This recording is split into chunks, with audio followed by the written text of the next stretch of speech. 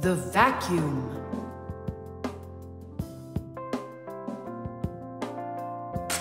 What's the point of cleaning up toys? You're just gonna go take them out again later. You said it.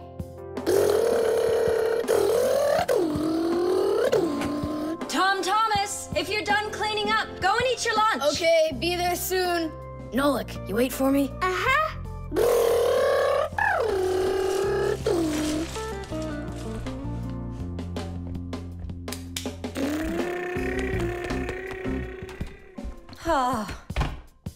He calls this cleaning up.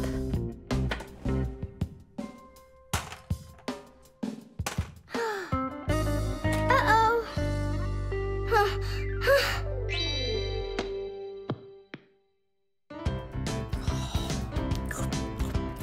As we say, bon appetit. Thank you. You're not gonna eat me up, are you? How? Fixies, I don't eat them. well, that's my mom. She started vacuuming.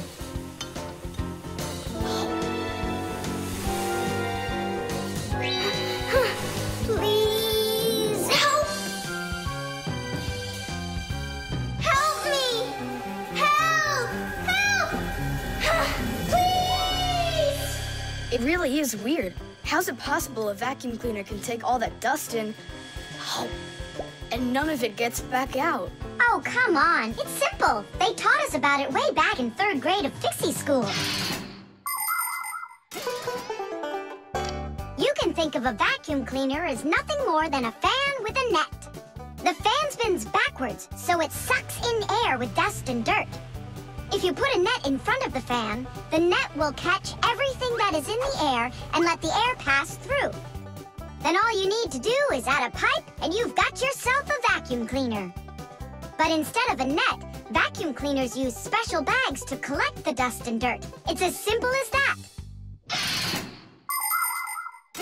Oh, whoa, Simka. Uh, Nolik, could he get sucked into the vacuum? Oh no!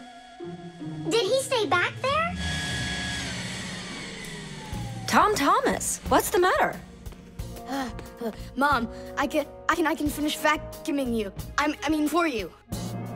All right, I'll go clean the dishes. Nolik, Nolik. No lick! No lick! No lick! We better go and get help right away. Hmm.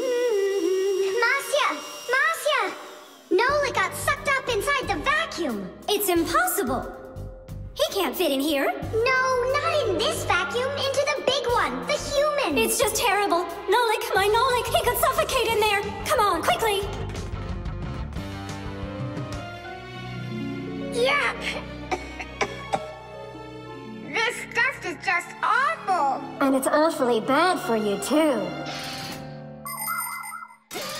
Dust is a tiny enemy. It's so small and unnoticeable. But if dust gets inside machines and appliances, it's a disaster just waiting to happen. It can keep gears from turning properly. Dust can make appliances overheat. And if dust gets onto electric contacts, it can create a short circuit that can even cause a fire. That's why we fixies have to constantly clean the insides of appliances from dust, even though a lot of us are allergic to it. Heh heh ha choo! If only people would just dust a little more often than they do right now. Ha ha ha choo! At least people could dust more on the outside. That would make our work so much easier, and their equipment would break a whole lot less often.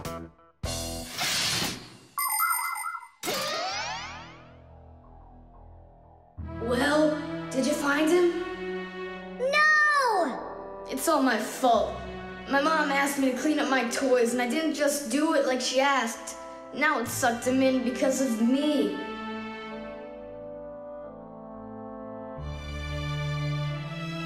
Nolik! Nolik!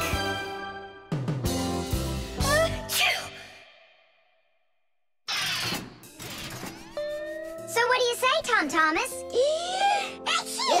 What? I already apologized. And I already promised to clean up my toys. Achoo! And why are you sneezing? to keep you company. So you'd feel a little better.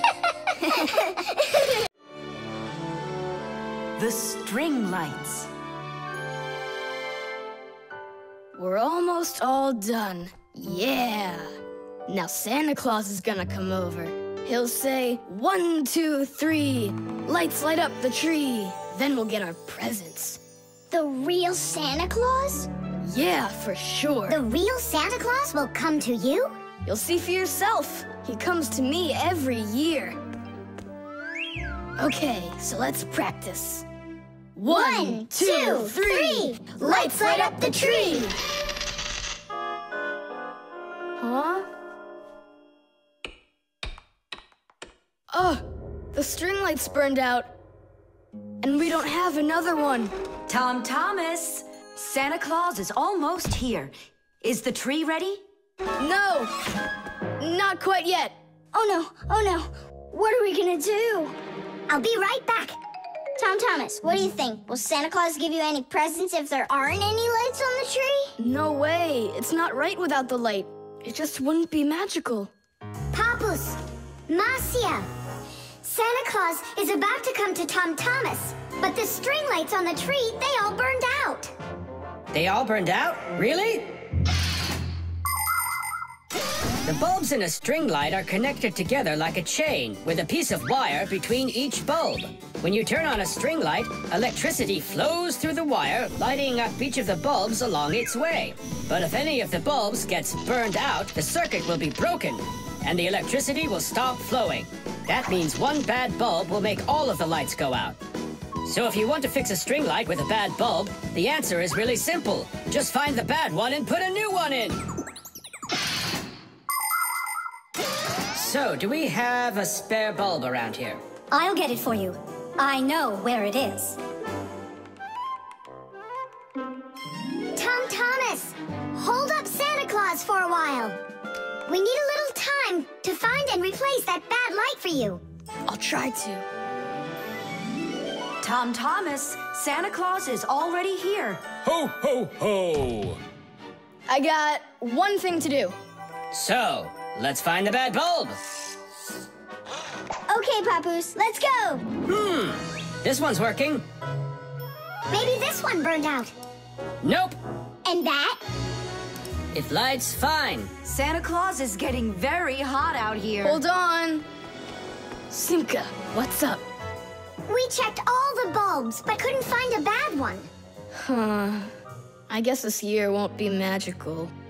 Okay, Mom, just come on in. Ho, ho, ho! Hello there, Tom Thomas. So tell me now, have you been good all year? Huh, why aren't the lights on the tree burning? So then let's say it together. One, two, three. Ow! Papus, I found one more bulb. Here's the one that's not working. One, One, two, two, three. three. Lights light up the tree. Huh! Now we need to replace this bulb with a new one. So where's Masiya? Show your light, O tree. Hooray! Ho, ho, ho, ho. Whew, that was really hard. I see you already got it shining. But where did you manage to find a new bulb? We got Papus to act as the bulb. Tadish! Tadish! Ah, what a hero. Pull me up so we can put this bulb in. On Christmas Eve, on Christmas Eve, on Christmas Eve, our spirits light up. Whoa! And on the tree, Ah, yeah! on Christmas Eve, nice box. the lights burn brighter. Every year no one is expecting, from some place that no one could conceive, appears a little miracle before us. Every year on Christmas Eve, on Christmas Eve, on Christmas Eve, on Christmas Eve, on Christmas Eve, the clock it seems on Christmas Eve. Is ticking slower. And suddenly, on Christmas Eve, a miracle. On Christmas Eve. No one believes. On Christmas Eve. Comes out of nowhere.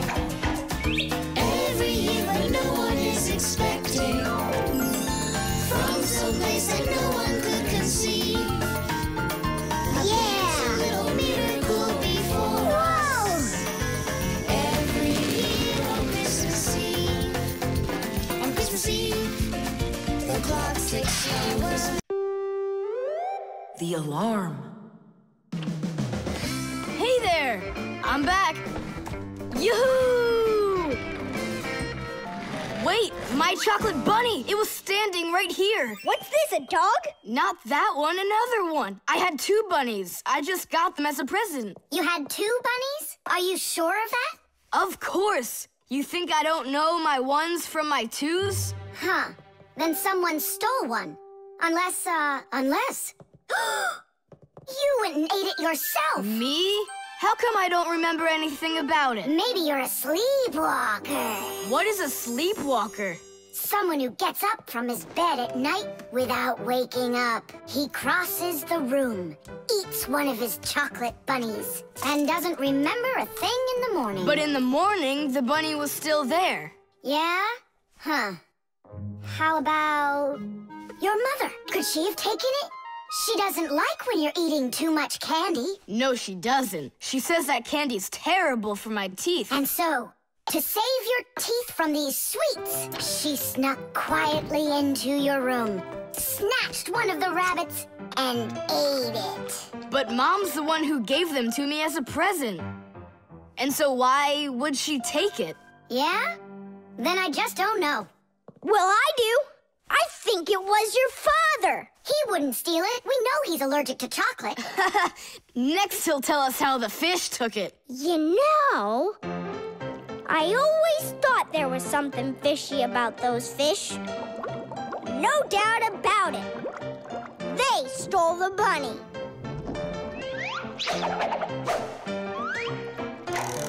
Uh-huh. And then they hid it in their aquarium. oh, no, like that's funny. You know what, Tom Thomas? You need to protect that other chocolate hair. Exactly. It has to be eaten right away. Now, before it disappears. Just wait a little. You don't have to eat it.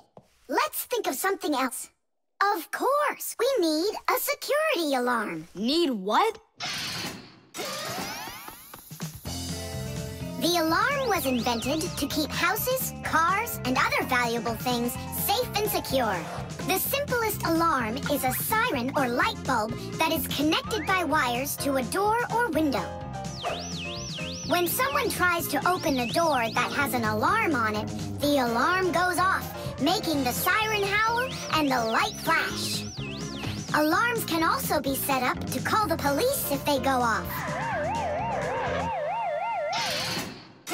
Super! But where can we get ourselves a security alarm? You have an electronic construction kit, remember? You're right. Then bring it over here.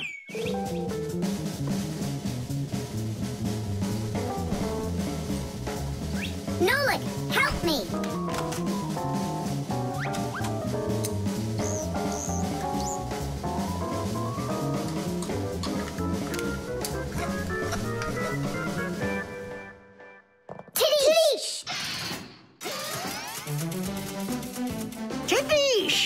Is the Fixies victory call. When a job is well done and we Fixies are proud of our work, we exclaim Tadish and raise up our hand with our thumb and first two fingers sticking out. You want to know what it means? It's very simple. Fixies love solving problems and fixing things that are broken. And do you know what you need to do to solve a problem? First, you need to find out what's broken. Second, understand why it broke. And third, repair what's broken so it works again. So do what the Fixies do and first, find it. Second, understand it. And third, fix it.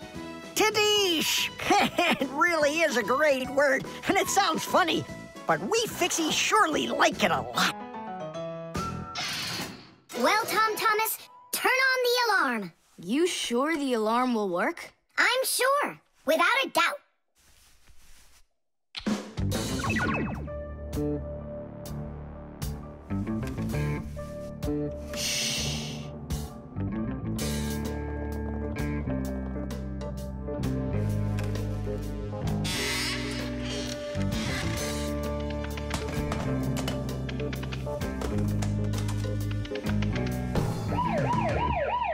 You're under arrest.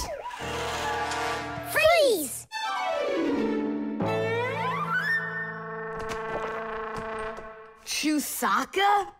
Why are you stealing my chocolate?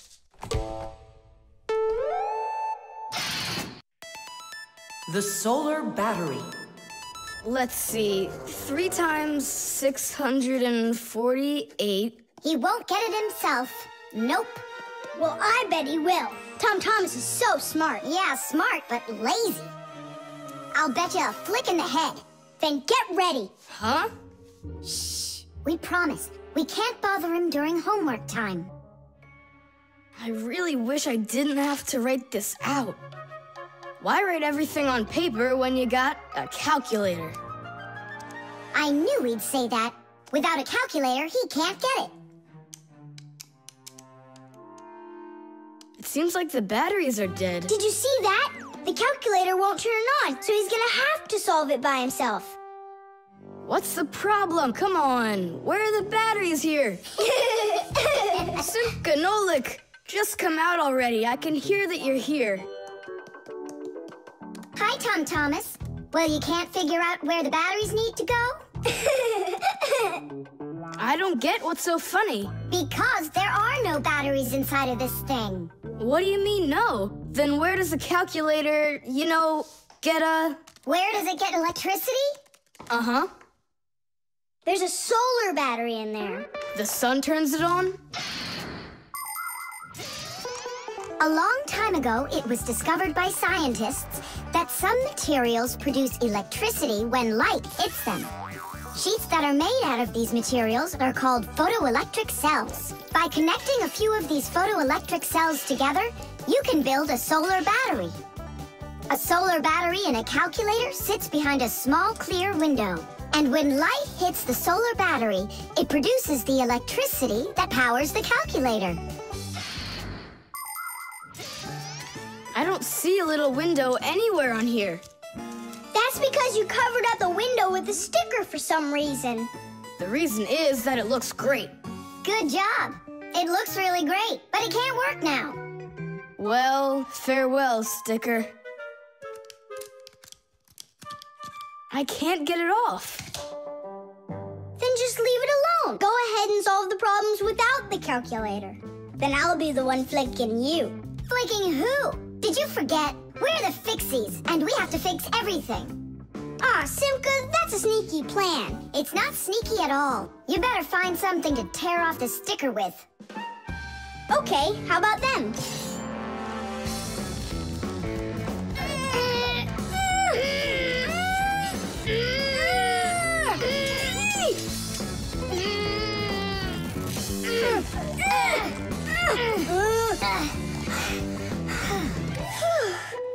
It'll take forever doing it this way. Yeah. I got an idea. Let's use this paperclip. And what's next? I'll just stick the end to the paperclip and then wrap it around. Tadish!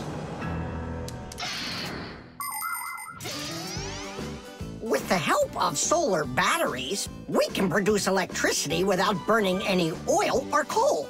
Unfortunately, these batteries aren't very powerful. A calculator can get enough energy from a small little battery.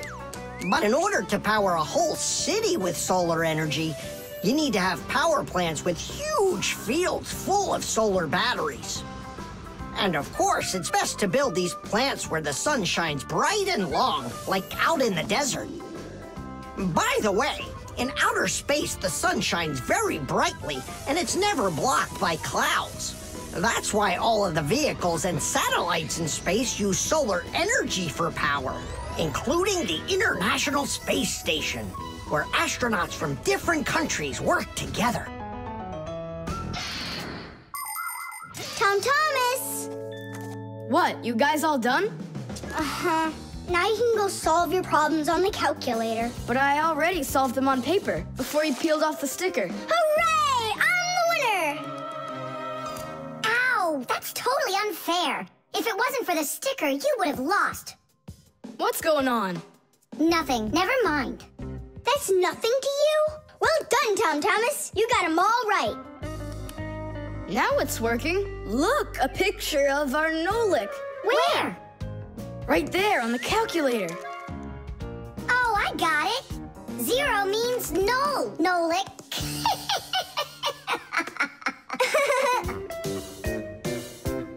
Good one. The robot. Did I already tell you what I'm hoping you'll get me for my birthday present? Yes, honey. Only a thousand times or so. A Robotazoid R300 would just be the greatest. With Megavision, I want it. I really do. I do. Well, tomorrow you'll find out. But now it's time to sleep, Tom Thomas.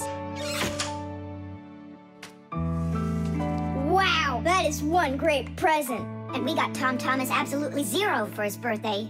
Ah, we're just terrible friends. So, how does this robot work? Okay, so let's give this a try, shall we? First, we'll take a walk. And how does he have any idea where the robot's going? I can tell you. One of the robot's eyes is a video camera. The robot sends the picture to the screen on the controller so the player can see where the robot is going. Yeah! And that's just one thing they know how to do. A robot is a smart machine that can do very difficult or dangerous work for humans. With its strong metal arms, a robot can move heavy objects or put together parts to build cars and other machines. Robots are often sent into outer space or to the bottom of the ocean to help scientists. There are also robots that can understand what people are saying, and robots that can talk and even make jokes, just like people. I've got it. Now let's turn you around. Ah, What was that? uh, look. You know, He destroyed him. Nolik, stop! You were playing with that, right? you think Tom will notice? I know what you're doing all night. I'm off to bed. I'll get him to work. I'll stay up until I do. Simka, let's try and. No, we're gonna need some help.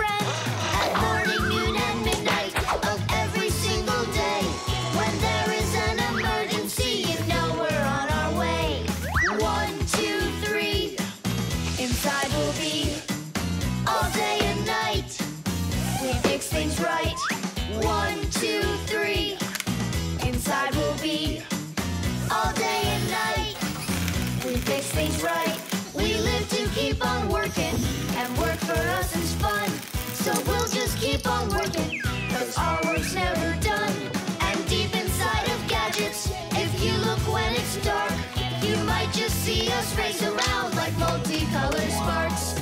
One, two, three. Inside will be to fix what's wrong. Till it runs strong. One, two, three. Inside will be all day and night. We fix things right. One, two, three. Inside will be to fix what's wrong. Till it runs strong.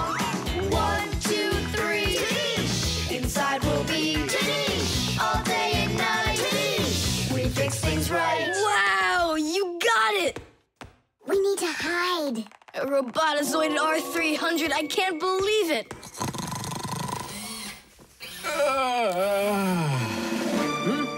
Well, happy birthday to you, Tom Thomas. I'm sorry, Tom Thomas. Last night, your robot, you know, I broke it. Dad, it works perfectly! Don't you see? I'm so proud of you. You fixed it. I couldn't fix it at all. I tried everything. Oh, you want to tell me that the robot fixed itself? what a joker.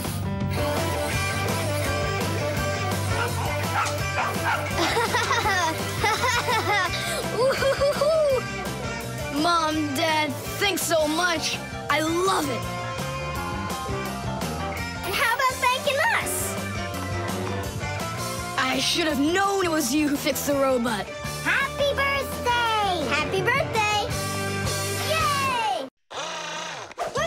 The ship in a bottle. Simka, Nolik, here, take a look at this. Oh, wow! Awesome! Where did you get this from? From one of the shelves in Dad's office. He's got lots of cool stuff in there. That's cool. I'll be the captain. This is like a totally real sailing ship with masts, cordage, and everything. And how can it all get in there through such a little hole? A ship in a bottle is a real miracle. Do you want me to tell you the secret of how it gets inside? It's like so. All of the ship's masts are collapsible. Before the boat is put into the bottle, the masts are folded down and pressed against the ship's body, so it's small enough to fit through the bottle's neck. And once the ship is inside the bottle, the masts and sails are opened back up by pulling on a thread.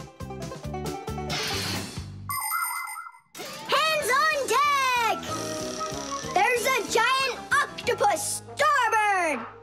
I'm an octopus, huh? Oh, look out. Brave sailors like us, we're not afraid of storms. Tom Thomas, be careful! Hey! Oh, ah, Did it break? no, it's all Trish. It's not close to Tadish. Take a look how this mast broke. Whoa! Uh, what have I done? Don't worry, we can fix it. Get some glue, okay?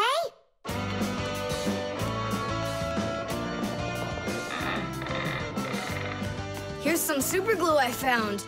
This is the kind that'll keep things stuck forever. No, Nolik, come and help!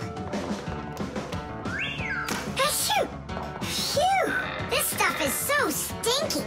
Ha, ha, ha, ha. Eh! Tadish! Ooh, that's better. Thank you, guys. We sailors ugh, never let a friend down. Nolik, you gotta get out! You'll get sick from that stinky air! I can't get loose. I I got stuck. Hello there, Tom Thomas. Uh, what are you doing with the ship from my collection in here? I just wanted to give it some air. Tom Thomas, you know that taking things out of my office is just not allowed. hey, look, what an interesting cabin boy. I never noticed him before. I'll take it, Dad, and put it back on the shelf, okay? Who just sneezed? Uh, I did. Achoo! Well, all right then. Do your homework and please don't set foot in my office again. Simka, where are you going? To save Nolik! I'll come with you. You're not allowed inside that office. Your father said no. Sweetheart, your soup's getting cold. I'm coming. Nolik, where are ya? Simka, why is everything turning? Because you inhaled the fumes from that stinky glue. Phew. Everybody knows how strong the smell of paints, cleaning fluids, and glues can be. But the nasty smell is not where the real danger lies. Breathing in the fumes from paint or glue can give you a terrible headache. Or even worse, it can make you faint. That's why when the Fixies need to paint or glue something, they're supposed to put on a safety mask called a respirator. And humans need to remember to wear masks just like Fixies when they're working with fumes. And never forget that the fumes from glue and paint can be flammable. It only takes one spark and kaboom! There can be an explosion. So always remember to have plenty of clean air moving through any room where you are gluing or painting anything. up! Hurry up! Ugh.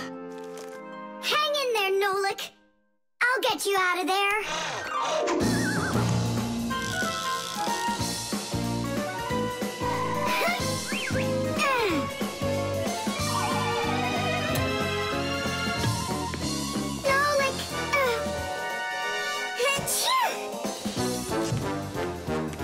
Uh, oh, Is he okay? Nolik! Nolik! Oh, you're alive. Turning starboard. Turning port.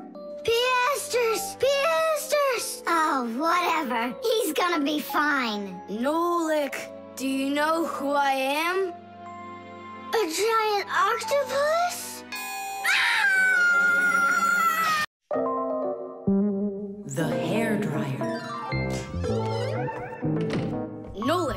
are you here? Yep, I'm here. I got a cool trick to show you. What? Oh, That was real magic, dude. Took long to learn it? no, that's not the trick. It's a trick with helium. oh, what is helium? Well, helium's a very light gas they fill balloons with so they float in the air. That's not magic at all, you silly. Who's never watched a flying balloon? The trick's not about the balloon flying. I need to get its gas. Ugh. How can I get it down from there? Get a hair dryer. That's the way to do it. Yeah, what for? So I can show you a trick. All right. Mom, can I use a hair dryer for a minute? A hair dryer is a great, simple invention. Inside a hair dryer is a fan that sucks in the air from behind it and pushes it out the front to blow your hair around and make it dry. To heat up the air, there's an electric coil inside of there. When the coil heats up, it warms up the passing air. And the hot air helps your hair dry faster. Of course, you don't have to turn on the heat setting, but then you better like that cold wind.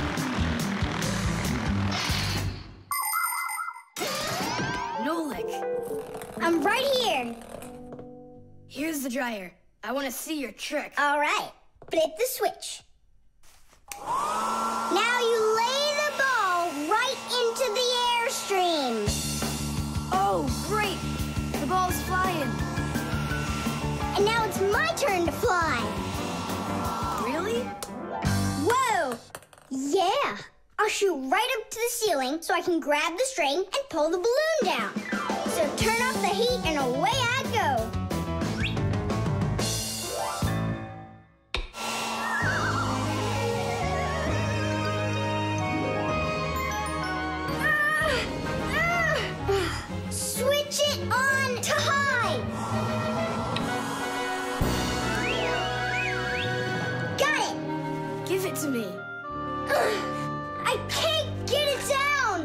Probably because you're little and weigh like nothing. And what? Do I have to wait till I'm heavier and older to get down? I don't know. Then you'd better get my sister. She'll tell us what to do. Simka, come on out. Well, what's going on? Look, Hi there. How'd you end up on the ceiling? I was just showing off that funny hairdryer trick. I'm laughing out loud. Ha ha ha. I can try flipping on the hair dryer and lifting you up to Nolik. So both of us can get caught hanging up there? Well, thanks, but I don't need it. Then what do you need? Just a broom or a mop. You know how to do a trick with a mop? Uh-huh. Just make it fast. Can be quite ingenious creatures, those humans. Sometimes they figure out clever ways to use ordinary devices, like a hair dryer. Of course, it can be used to dry hair, but it can also be used to dry a wet spot on clothes. And a hair dryer can even be used to remove a sticky price label. Now, suppose you buy yourself a new cup that has a terribly sticky sticker that just seems impossible to peel off. Well, try warming it up with a hair dryer. The glue will dry up a bit and the label will come off easier. There's no doubt that a hair dryer can be very useful in any household. But you need to be extremely careful with it, especially in the bathroom. If water gets inside a hair dryer, there's a real risk of getting a horrible electrical shock that can seriously hurt you and destroy the hair dryer as well.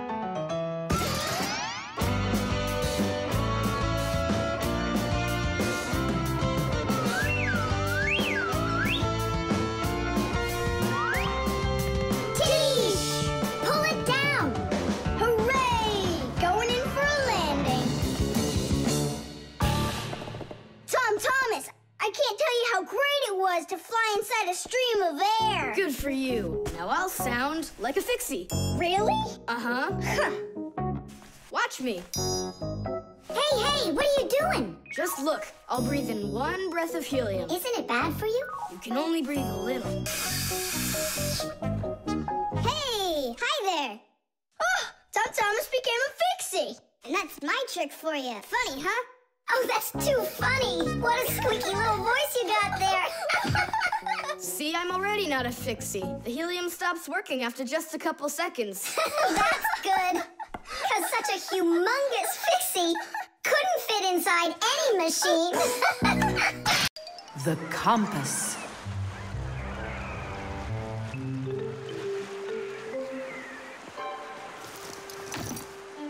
Pipe all hands on the deck. Aye, aye, mateys. Timbers. Simka Nolik, what you doing here? We're not Simka Nolik. We're courageous pirates. Yeah, pirates. And today we leave home for the sea.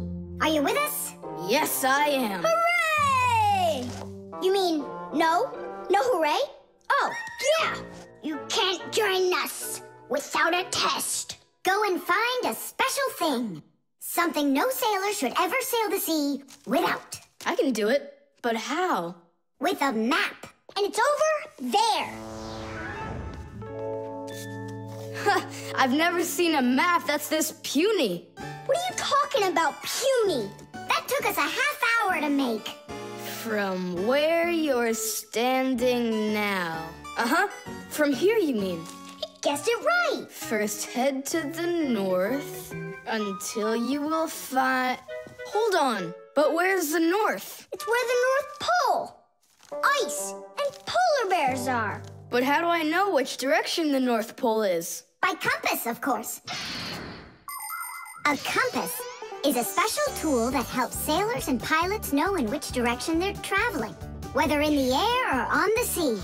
Our planet is like a big magnet that has two poles the North Pole and the South Pole. These magnetic poles help the needle in the compass find its way. The needle is magnetized, so one of its ends will be attracted to the North Magnetic Pole and point at it, while the other end will always point towards the South. That I know, but there's no compass around here. Then let's make one by ourselves. Out of what? We can use a needle. We just have to magnetize it And how's it supposed to turn around? in a saucer of water.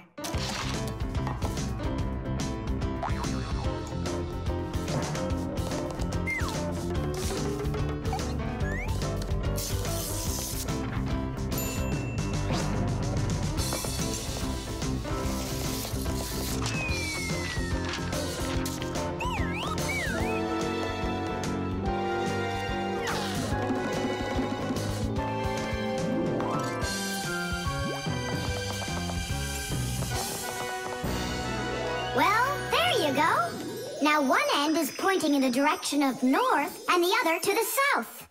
But which point's where? Well, there's the window. So that can't be the right way. The north is there. I'm really liking this sharp little fella we've got here. You calling me a little fella? No, it's just the way us pirates talk. All right then, north we go.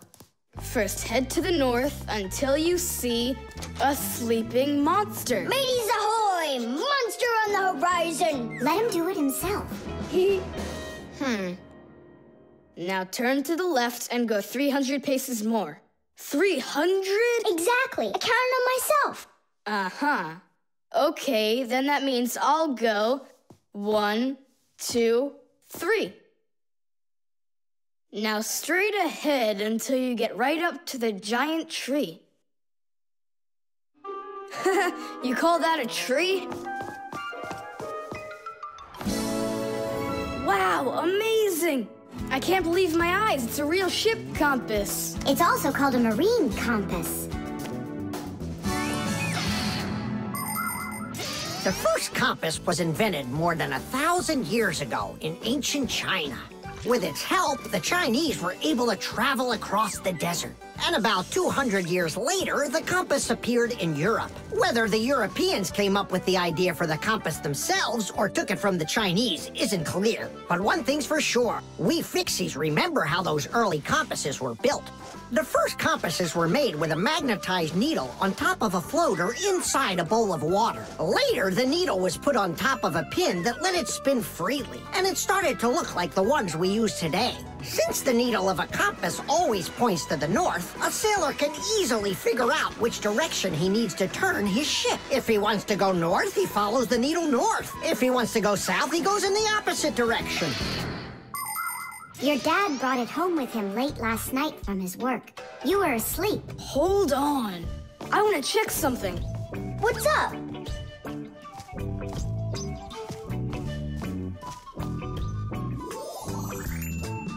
Yeah, they line up together. Of course they line up. If not, how else would you have gotten here? We're done with the needle. It has to go back. First head south 600 paces. Six for you, matey. The internet. Well, maybe it's, uh... Don't think so. It's probably, uh. You call for me, children? What's the matter? Take a look. I've never seen anything like it. Hmm. What in the world could it be? Hit! Maybe it's a bathroom scale? Or a clock with a digital display. Wait a sec. Are there instructions around here for this thing? I couldn't find them anywhere. That's a problem. Well, then let's try to figure it out. What are you trying to figure out up there? What a huge hockey puck! It's big enough for a monster!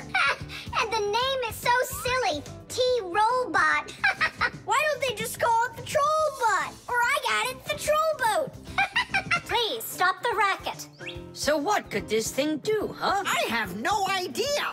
we could try finding it on the internet. Where? Just run along, you two. We don't need any internets. We can handle this. Go on, go. Don't interrupt us. Sure, whatever you say. Come, Nolik. We'll find it out by ourselves. Yeah. Uh, how? So, you remember what it was called? Uh-huh. A troll boat. Nah, a trollbot. You're right. Hop to it.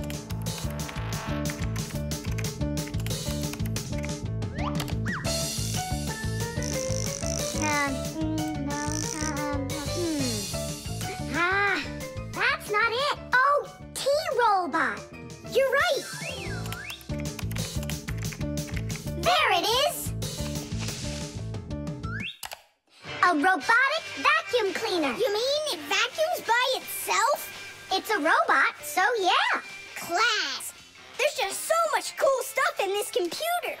No, look. This information is not on this computer. It's on the internet. From your computer, you can send a letter to another computer. You can also download a song or a photo from another computer. That's all possible because most of the computers in the world are connected to one another as part of a huge web. And this World Wide Web is what we call the Internet. Thanks to the Internet, we can take a peek at just about anywhere in the world and find information we need about anything.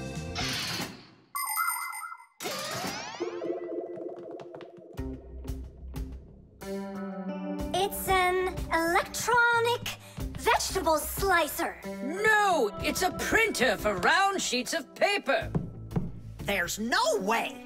Grandpus, we found out what they do with it. You're back again? You mustn't interrupt the adult. Just wait a second. Nolik, turn it on. Uh, turn what on? Don't you turn on anything. Ready, set, jump. Ah,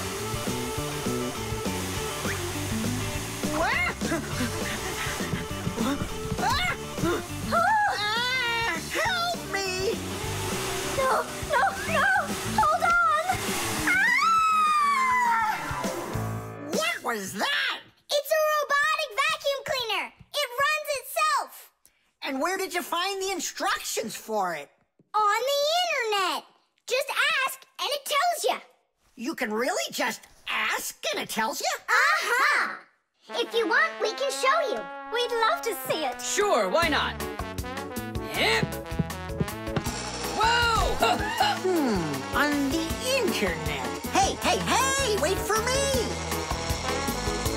an elephant weigh? What's an elephant weigh? What's an elephant weigh? The answer's easy to get. It says it weighs five tons. It says it weighs five tons. It says it weighs five tons here on the internet. It says it weighs five tons. It says it weighs five tons. It says it weighs five tons here on the internet. You send a letter to me. I send a letter to you. You send a letter to me. It's just so easy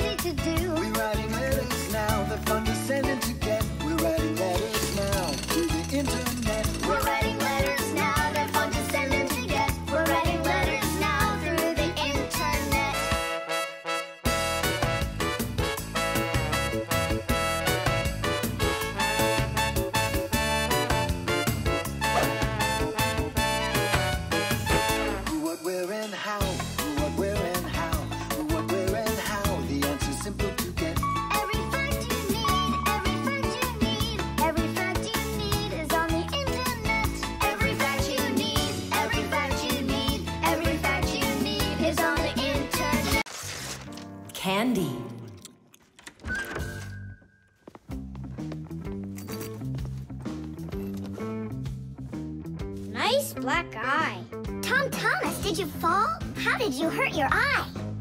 I had a big fight with Johnny. Oh, wow! How could you? What was the fight about? We argued over who's cooler, a racer or a boxer. A race driver's cooler. Of course, that's what I said to him. But Johnny had to prove it's a boxer. Well, He proved it all right. Can't you see? you don't prove anything at all by fighting. What a profession, a boxer. Yeah, now your dad, he's got an amazing profession, a journalist. He gets to travel to different countries and brings back all sorts of funny stuff.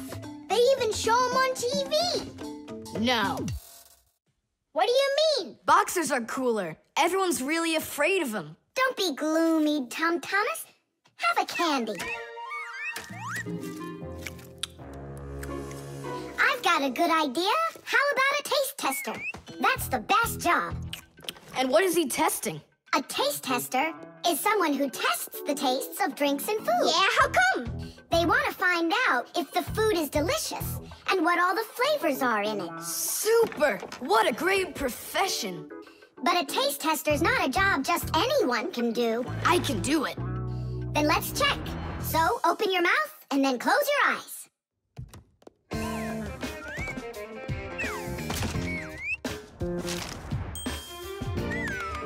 Try to figure out what the flavor is inside of this piece of candy.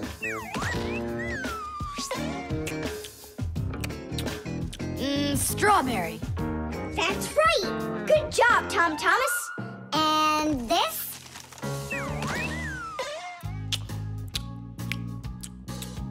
That tastes like orange. You missed that one. It was lime. Yeah, Tom Thomas. If you want to be a food taster, you're gonna need to do some serious practicing. Let's do it. Raspberry? You got it! Simka, how do they get the candy to be hard on the outside and filled with liquid on the inside? Don't get distracted. You're training. Yeah! Hard candy is made like this. First, a sweet syrup is cooked until it is thick and stretchy. Then the mixture is pulled into long, hollow tubes that are like noodles. As the tubes cool down, they start getting harder. And it's right then that the tubes are filled with the soft, fruity center and then cut into pieces. It all has to be done quickly before the tubes have a chance to get totally hard. And that's how candy is made that is hard on the outside and soft on the inside.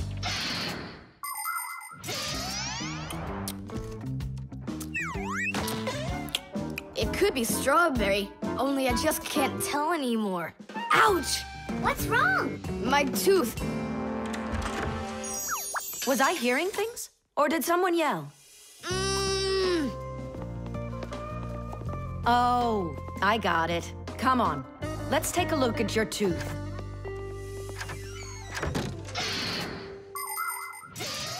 Taste tester has to be the most delicious profession in the world.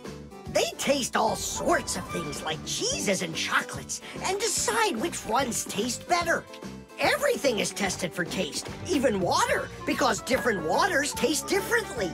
There are also testers who don't test food and drinks, but rather they test the smells of things like deodorants or perfumes. Not everybody can become a really great tester. First, you have to be able to tell apart all the different tastes and smells. You also need to know when it's time to stop, or you can make yourself sick and lose your ability to tell things apart. That's the reason why taste testers only take very small bites of food and very, very little sips. If you're gonna have a bad tooth, it's good to have a mom who's a dentist. That's true.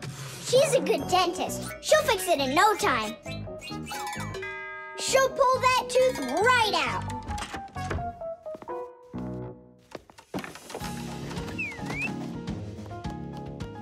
So, did she pull it out? Nah, she just gave me some medicine to gargle.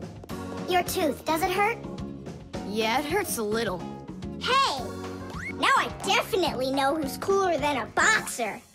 Who? Who else? A dentist! Even boxers are afraid of going to the dentist. The microphone. And what do you think? Should we go and see a movie? Moo?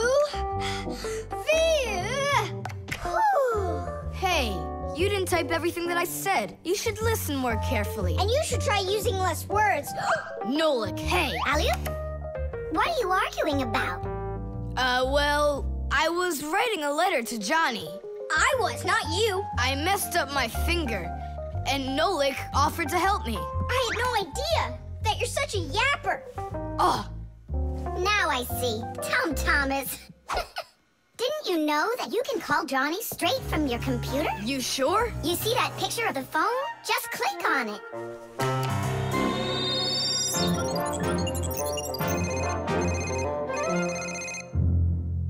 Hi. So what movie do you want to go see? Hey there. I don't care. Just not pirates and those robots. Hey, Tom Thomas. Why aren't you answering me? I am answering you. Hello? Hello? Talking to the microphone. Uh, I don't have a microphone. There you go. End of conversation. All right, then talk right into there. Simka, come on. You use headphones to listen. It's a joke. It's no joke. We talk into microphones and listen through headphones. But both of these devices use a special membrane to do their job. The membrane inside of a microphone is used to capture sound that is then sent through wires as an electrical signal. And inside a pair of headphones, a membrane helps turn that electrical signal back into sound. So it turns out that a microphone and headphones are built in a very similar way, even though they are used quite differently. And so I talk right into here?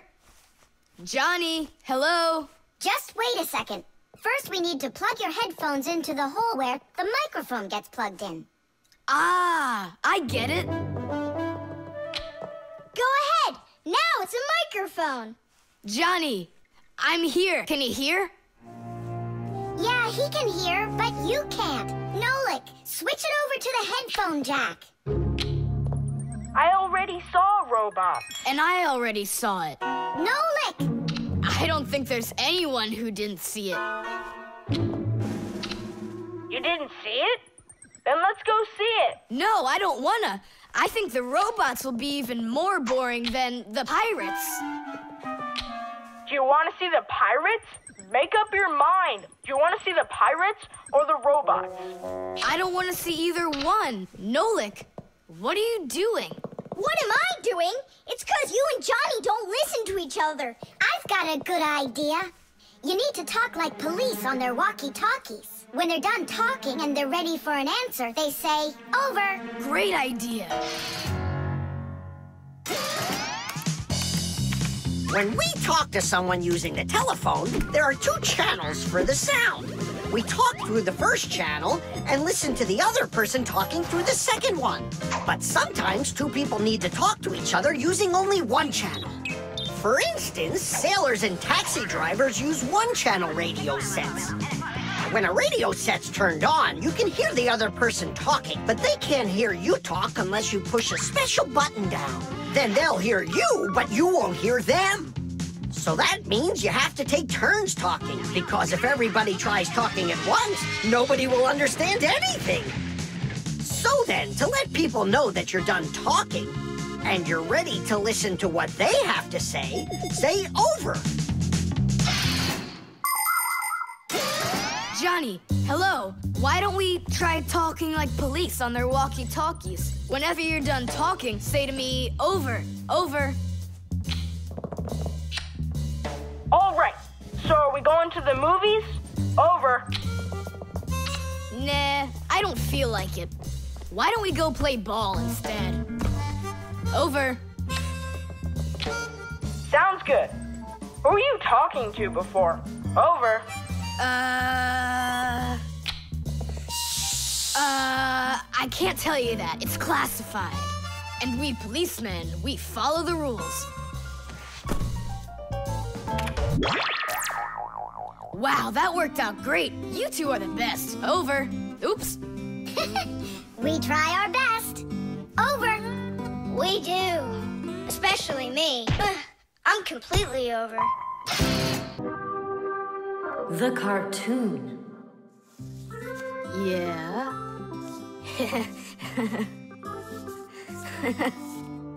like that. Yeah. Tom Thomas, aren't you done yet? Yeah, show us your surprise and quit drawing. But this is the surprise. So make yourselves comfortable. Quiet on the set and action. Great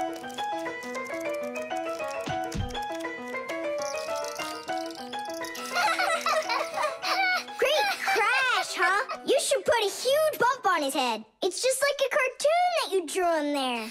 he did draw us a real cartoon there. Oh, right. Real cartoons, they only show them on television. But they make them exactly the same way.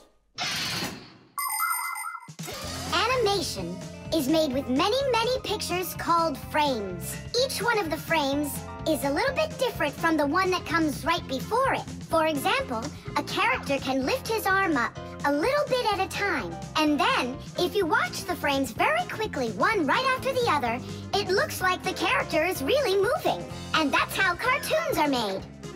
And you know what? To make one minute of a cartoon, you might have to draw more than a thousand frames. Oh, wow. I'm not patient enough for that. It's no big deal that your cartoon's short, especially since it's funny. Yeah, it's so funny. Tom Thomas, who's this kooky guy you drew here? You're just joking, Nolik. You don't recognize yourself? So this is supposed to be me on here? Did you already forget what happened to you this morning? Simka, you're it. You can't catch me. I'm too fast for you. you weren't too fast for the pole. Ah, Simka, you didn't have to tell him about that.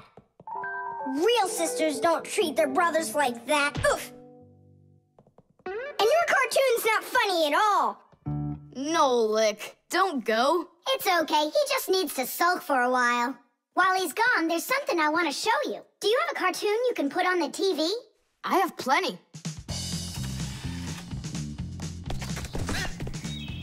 What should I do? Let's watch it again. But now I want to show you the same cartoon a frame at a time. Here, take a look. This is a frame, and here's another and another. Isn't that cool? Uh-huh. So cool. And then back at regular speed, there's 25 frames every second. What should I do? It's magical. Simka, you know, I feel awful for Nolik.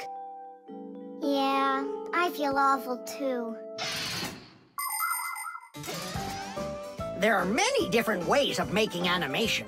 Hand-drawn animation is, of course, drawn by hand, and stop motion is made like this. The animators pose the model and take a picture of it. Then they move the model a little bit and take another picture. And they do it again and again and again until there are enough frames to make the characters look like they're moving very smoothly across the screen. Another popular style of animation is clay animation. In these films, everything is built and rebuilt out of modeling clay.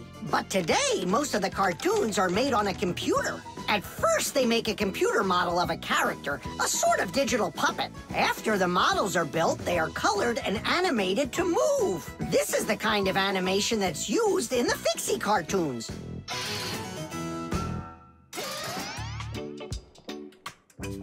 Tom Thomas, what are you doing? Are you drawing a new cartoon? Nah, I started fixing the old one, so Nolik will stop being angry. Good. Keep drawing. And I'll go and get him. Nolik! I'm not here! Nolik, forgive me. Please don't be so mad. There's a cartoon to watch. I've already seen your stupid cartoon. So what'd you do now? Put a huge bump on my head? Not a chance. I did it all over again. I'm sure you'll love it. You're sure of that? All right, go ahead. Show me your cartoon. Quiet on the set and action.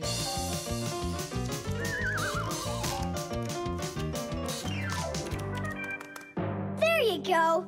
Now that cartoon I really liked. Good, because I'm all out of paper. Well, I think the first cartoon was funnier. Whoa. But this one's much better, of course. Yeah. The tin can. Well, what else goes? A flashlight. It's good to have when you're camping. Listen, Tom Thomas. Just leave a little room for me in there. I'm good to have when you're camping, too. I'll leave you some room. Just hide in there so Dad won't see you. And you can't tell Simka anything about me going with you. All right. And last on the list, a few cans of meat. Hi, Tom Thomas. Have you seen Nolik? No, Then who did I just hear you talking with? I, uh. I was just reading the label. Huh. Where did Nolik run off to?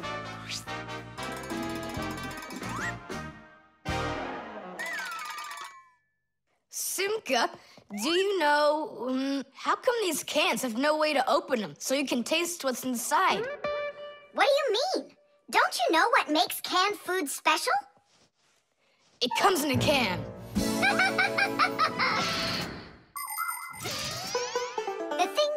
special about canned food is that it can get stored a long time without spoiling.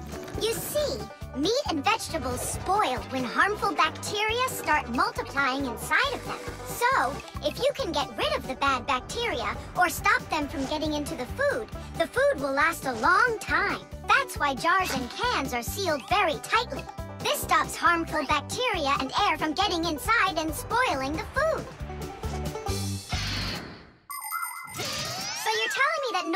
Not here, right?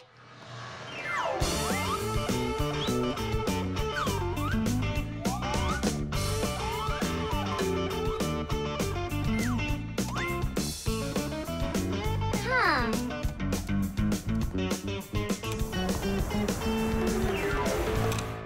So it looks like he's really not here. Who is that? Where? All right, now I remember. There's another can I should take with me. There's something fishy happening here. Hey guys, my mom threw this can out a long time ago, but I hid it for later. I knew I'd use it someday. And who were you talking to when you said guys? Moi? Uh, you're here and I'm here, and that's two of us. Look at this great can I got. There's nothing great about it. Put it down on the floor. You see? What? Oh, it's crooked, and so what? So what? It's all swollen. And when it's like that, you know that inside the can, bad bacteria is growing and spoiling the food that's in there. It went bad? There's a way to check. On every single can, you can find the date it's good until. Sooner or later, even canned food will go bad. And of course, dairy foods like yogurt or milk can spoil in just a few days. When you buy food in the store, it's very important to always check the expiration date. The expiration date's the last day that it's safe to eat that food without worrying that it may have gone bad. You can find the expiration date on each box, jar, or can of food, so pay attention. And be very careful not to buy or eat any food after its expiration date has passed. And if you see that a can is swollen, throw it away immediately. If you eat it, your belly can swell up too. Unfortunately, when food spoils, it's impossible to unspoil it, and then even the fixies won't be able to help. Oh, my mom probably saw that this can went bad over a year ago. That's why she threw it into the trash. Right. Shame on you for picking it out of there. You could have poisoned yourself and poisoned your dad as well. Yeah. And the other cans, are they swollen too? They're fine. Goodbye then. It's a shame I couldn't find Nolik around here. Papus wants to give him a brand new Pack-O-Mat as a present. To me? Aha! I gotcha! Ha ha! I had a feeling you would try to sneak away in Tom Thomas's bag. You lied. That's not fair. And hiding. That's fair, right?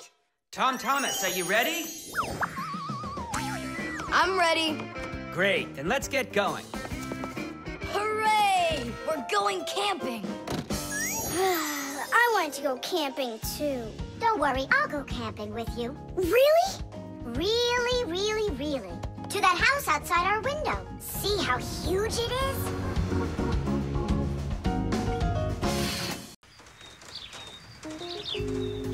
The thermos.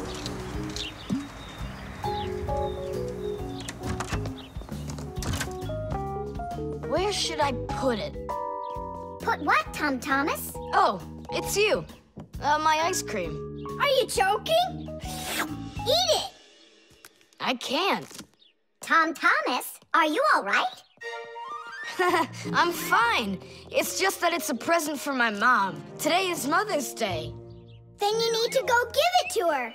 I can't. Dad and I are going to congratulate her together. What's your dad gonna give her? I don't know. But when he gets back home, the ice cream will have melted. Then put it in the freezer. And what if Mom looks in there and finds it? The surprise will be ruined. so where won't she find it? I'll tell you where. Inside of your dad's office. I don't see any place to hide it here. There's no freezer or anything. Why don't you take a look inside the box? Here's a thermos, but what good is it to me? Thermoses are for keeping things hot. The ice cream will melt in there. It will not. A thermos is made by putting one bottle inside of another. Between the bottles is an empty space, and that's the secret of a thermos. That space stops heat from getting out or in. So if there's hot tea inside, the empty space doesn't let the heat from the tea get out. And if there's ice cream in the thermos, the space stops the heat that's outside from getting in. And that's how a thermos keeps hot things hot and cold things cold.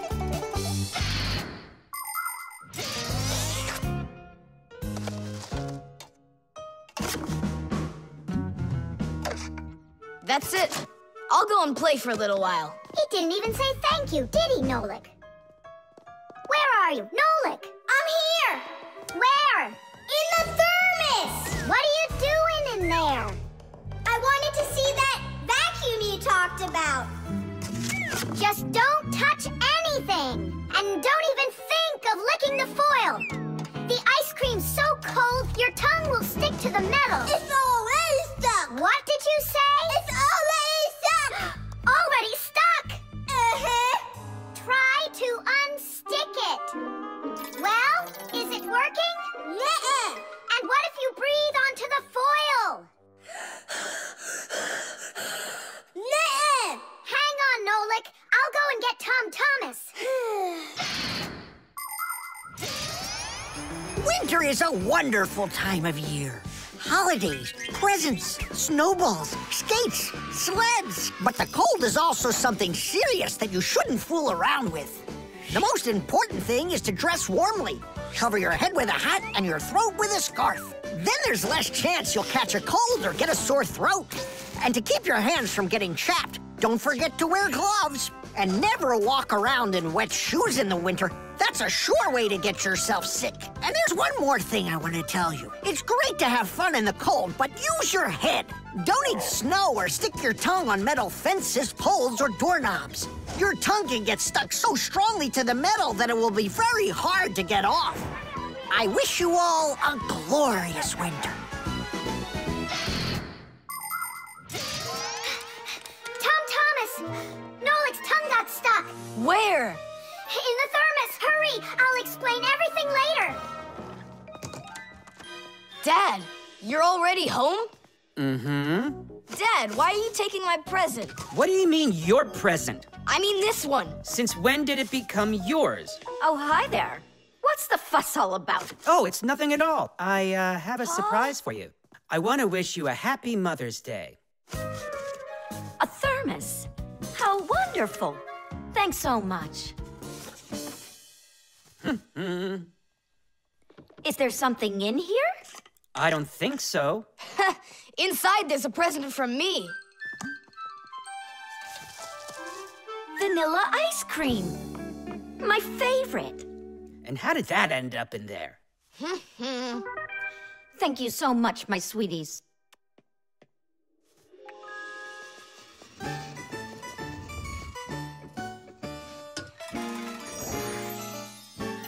Nolik, you got me so scared. Thank goodness you thought of turning into a screw inside of there. Uh-huh.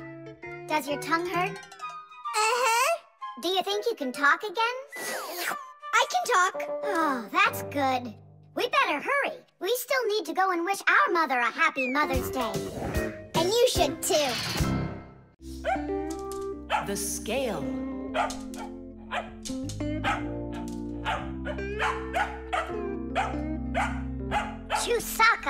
Enough already. But what if it's something important? Come on, she's just a dog. They say that cats and dogs have a sixth sense that we don't have. What's that? Well, they feel all sorts of things that we humans don't. I better let her in.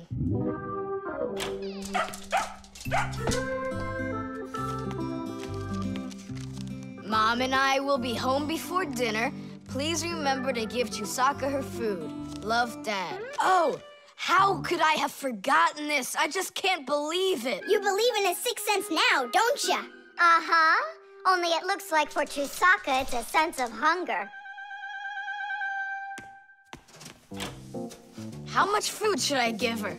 Look, it's all written on that chart. For each kilogram of the dog's weight, serve one level scoop at every feeding. Uh-huh. I got it. How many scoops is Chusaka? Oops, I mean, how many kilograms? I don't know. Then what should we do? You don't know? We'll weigh Chusaka, that's what we'll do. With what? With a scale. There's one standing in your dad's office. You're right. Let's go.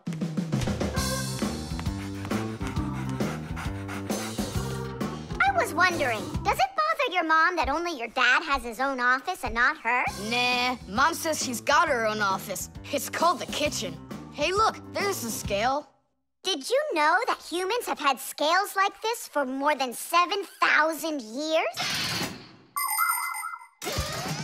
If we want to find out how much something weighs, we need to compare it with something that we already know the weight of. Let's say you need to weigh a watermelon. You put it on the scales pan and it drops down. Now you keep adding weights to the other side until the two sides balance. Well, this one is too heavy, but this one is just right. Since the weight is 10 kilograms, it means that the watermelon weighs 10 kilos. And that's just how simply a scale works. Well, should we start? Chusaka. Right, like she's gonna come running. How are you gonna get her away from that bag? Huh, I know how to get her.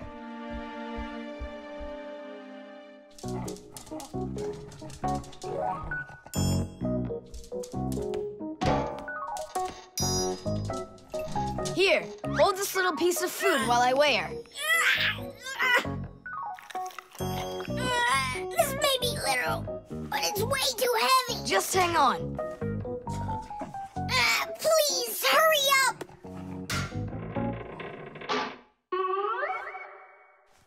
Ah, come on! Hurry up! Done. Her weight is two kilograms.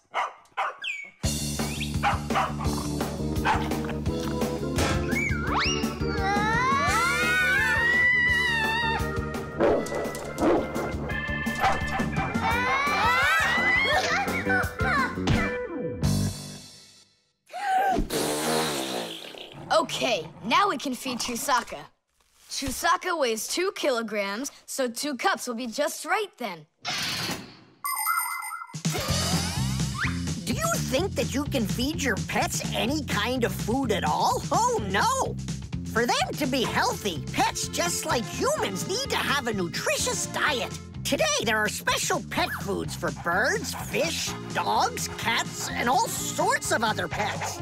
These foods are made with everything your pets need to stay healthy, like meat, fish, fruits, grains, vegetables, and vitamins. These kinds of foods give pets a well-balanced diet, and there's no need to cook them. They're ready to eat.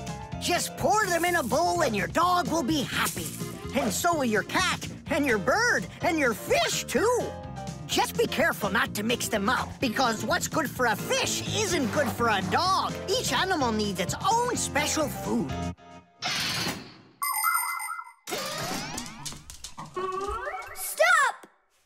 What's wrong? What's wrong? You have to take out a piece. She ate one already. Hmm, all right.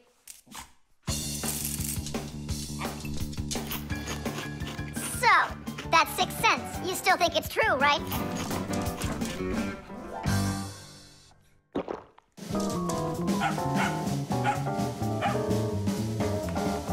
What did you bring that for?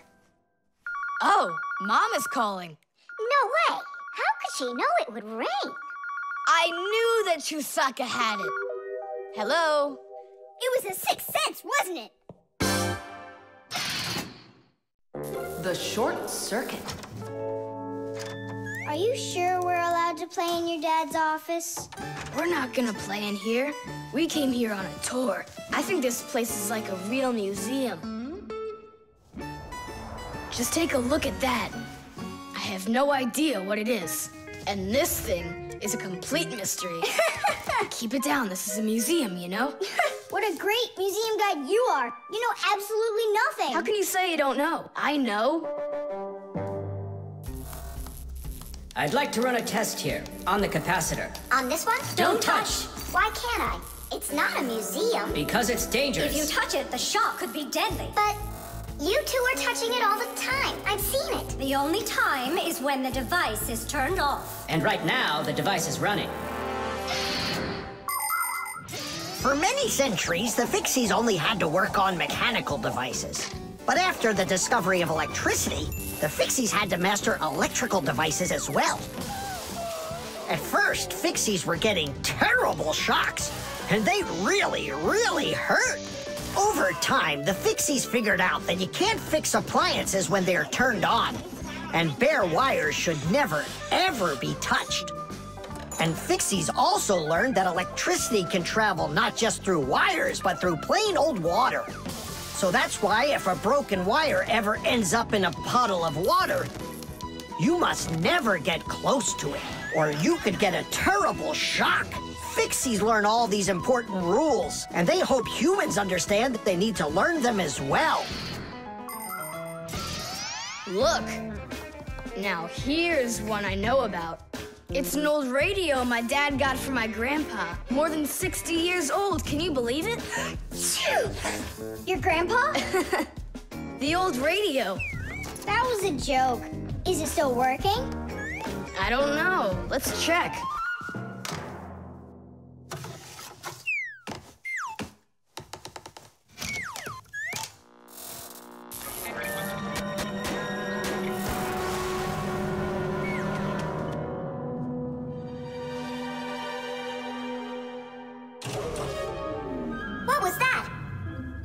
Like like the electricity got turned off. Maybe it was a short circuit. I'll go find out.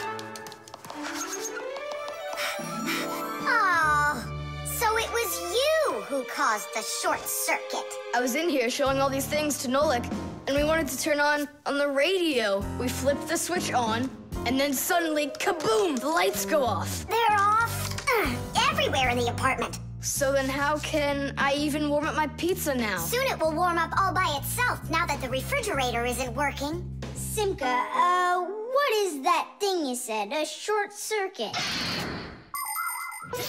Electricity goes back and forth from an appliance with two separate wires. For example, an iron uses the electricity it needs to get hot. But if those two wires start touching each other without the iron in the middle, then the wires will get hot instead. And this can cause the wires to burn out. When this happens, it's called a short circuit. Short circuits can happen when the coating around a wire is worn out, or when an appliance is broken on the inside of it. So when you tried turning on that old broken radio, the wires in the apartment started burning. Does that mean all the wires got destroyed? Don't worry. In our apartment, there's an automatic switch to stop that. It turns off the electricity when the wires start getting too hot. Oof. And what about that, uh, uh, automatic switch? Is that something you need your mom and dad to turn on? No question. You definitely would. But you have us. Yeah. And we have Papus and Masiya. I'll go tell them what happened here. And you guys, you turn off the radio. But we'll get electrocuted. What do you mean electrocuted? Thanks to you, there's no electricity.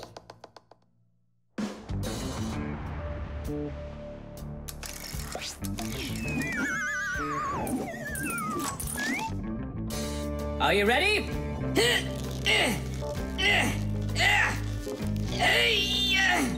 Pull it up.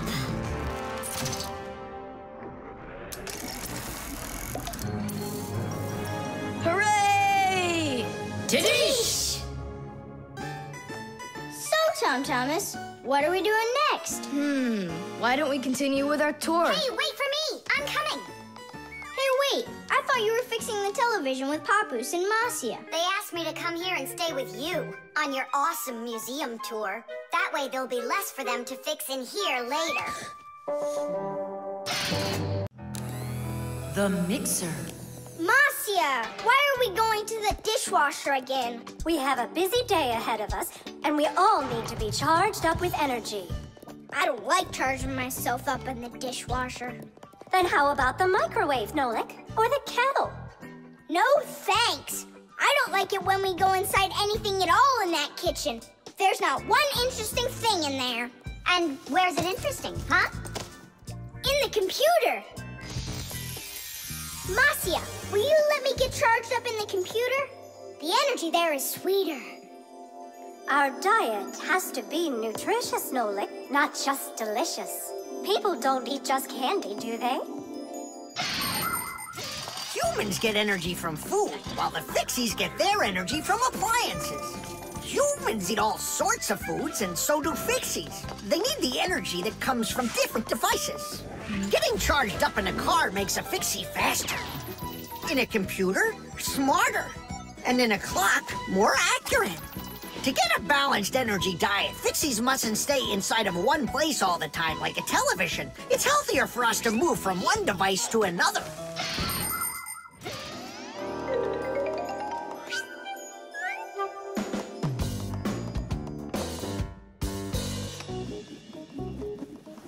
Good morning, Tom Thomas. What's the matter? For breakfast, I got cereal with milk. Mom says that milk is so healthy, but I think it's just awful. Aha, Nolik, there you are. Go get charged right now. I'm not going. Look at Tom Thomas. He doesn't want to have breakfast either. Why don't you? Milk tastes awful to him. Tastes awful? He just doesn't know how to drink it right. Look what we've got here. What? What? A mixer. A mixer is a kitchen appliance that's used to mix together different foods. With a mixer, you can make things like frosting, sauces, or an omelet. But The most delicious thing you can make with a mixer is a milkshake. It's easy. Just put some fruit, syrup, juice, ice cream, or anything else you'd like into a container and then add milk. Now use the mixer to stir it all up until it's smooth and creamy. And that's it. You've got yourself a milkshake. Guys, what do we have for a milkshake? We've got a jar of jelly. Will it work? That'll work. And strawberry jam? That'll be great. Here's a banana. I found some chocolate too. And I found strawberry ice cream. Start up the mixer. When you get up from your bed, yo. When you get up from your bed, open your favorite cereal. When your day is ahead, open your favorite cereal. When your day is ahead, there is still something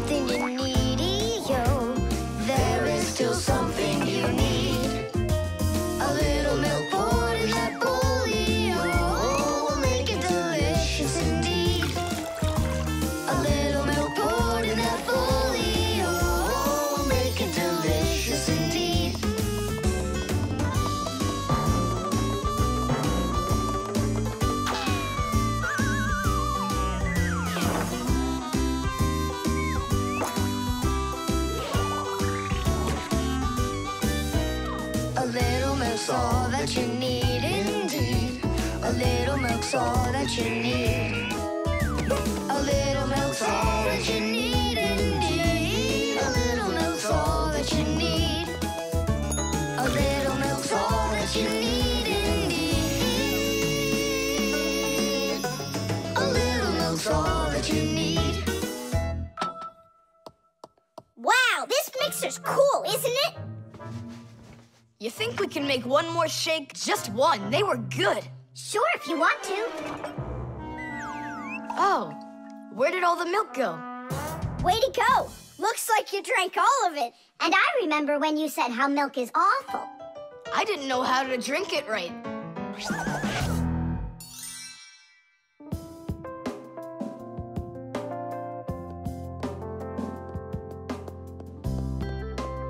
Simka, what in the world were you up to? And what happened to Nolik? Shh. Just come, I'll show you.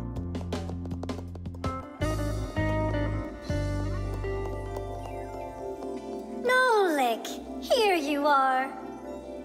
Didn't you say that charging up in the kitchen is boring for you? The mixer's not boring. It gives you energy that's yummy, delicious, and nutritious. Paper. Hey, Tom Thomas! You're watering plants? Not only, I'm writing an essay for school. I don't get it. I have to write an essay that's called How I Take Care of Nature. Only I have to write what's true, so I'm writing what's true. Watering my plants. oh! Chusaka. Chusaka, come here, girl. Stop. Don't be scared. Why did you pick her up? I want to pet her a little so I can write about how well I take care of animals. Tom Thomas, I want to take care of nature too. That sounds good. And what should we be doing? We could try saving air by not breathing as often. Awesome idea! Way to go! Saving air! Let's go for it. And ready?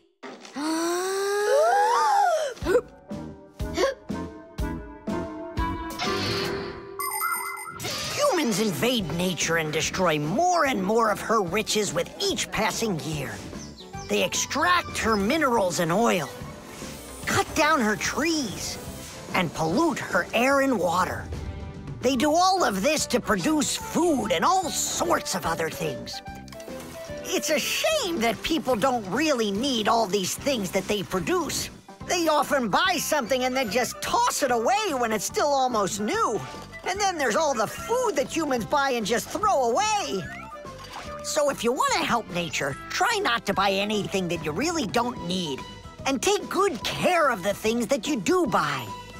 And you can be sure that we Fixies will do everything we can to make your things last as long as possible.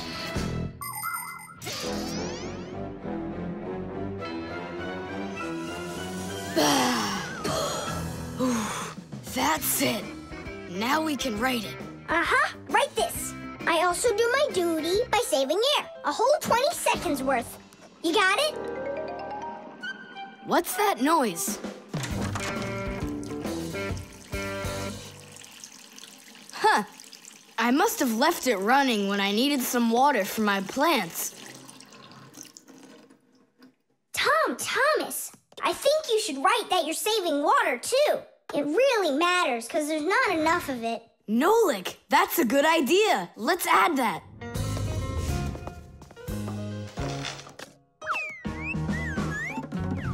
Hi there. What are you guys up to? We're writing about how Tom Thomas protects nature. It's a homework assignment for school. Uh-huh. I've already written how I'm watering the plants, I'm good to living creatures, how I'm saving air and water, and how I'm conserving carrots too. I never want to eat them, especially in soup. Not eating your vegetables? No way. Doesn't count. You sure that? Mm-hmm.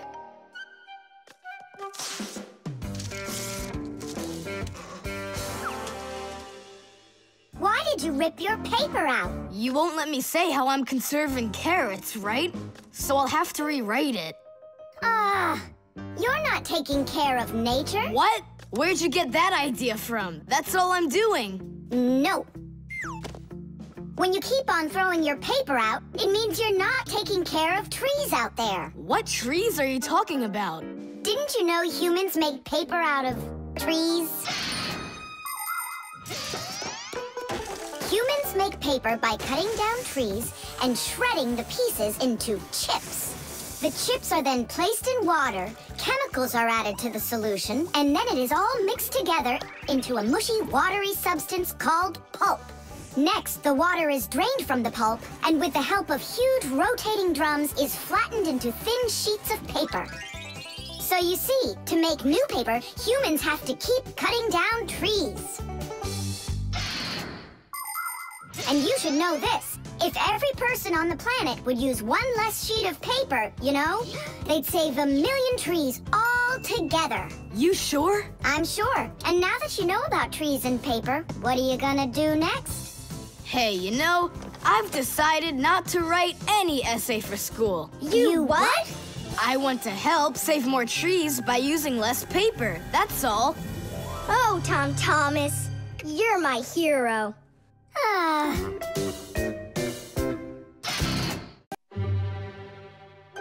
The zipper. Hey, Nolik, look. Why did Tom Thomas go to sleep like that? Maybe it was some kind of homework for one of his classes. Uh-huh, gym class homework.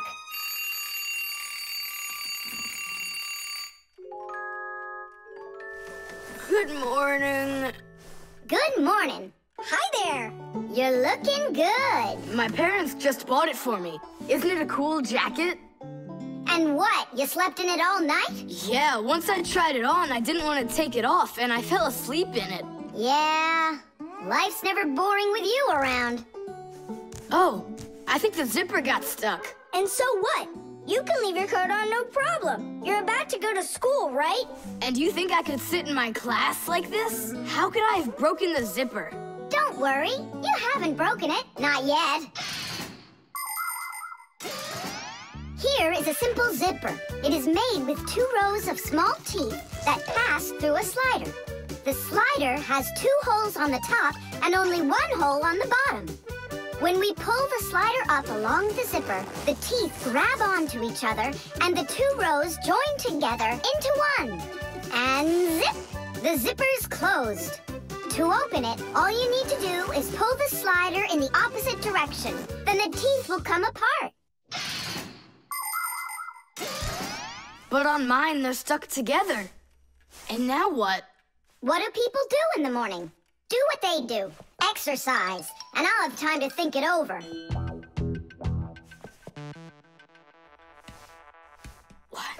Two, three, and four. One, two, three. And then what about me? Ah, go exercise too. One, two, three, and four. And one, two, three, four. One, One, two, two, three, four. and One, four. two, One. three, four. Simka, come on, think of something. I'm sweating already. Soon, okay? Go get washed up in the meantime. Whew. Do you think I could help you think? I think not. I think you'd be better off washing. How's it going, Tom Thomas? Did she think of anything yet? What? Did she think of anything yet? Ah, gotcha. Nope, she hasn't thought of anything so far.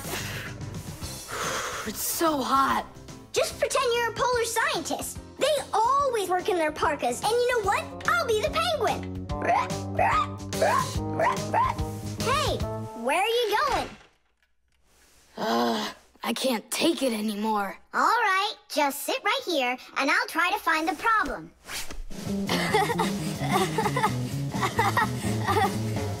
you see, that polar scientist game's funny, huh? That's not it. It's Simka. Oh, she's tickling so hard. Stop squirming. And you stop tickling me. Aha! So that's why it won't open all the way. It's only a piece of thread stuck in there. Pull the slider up.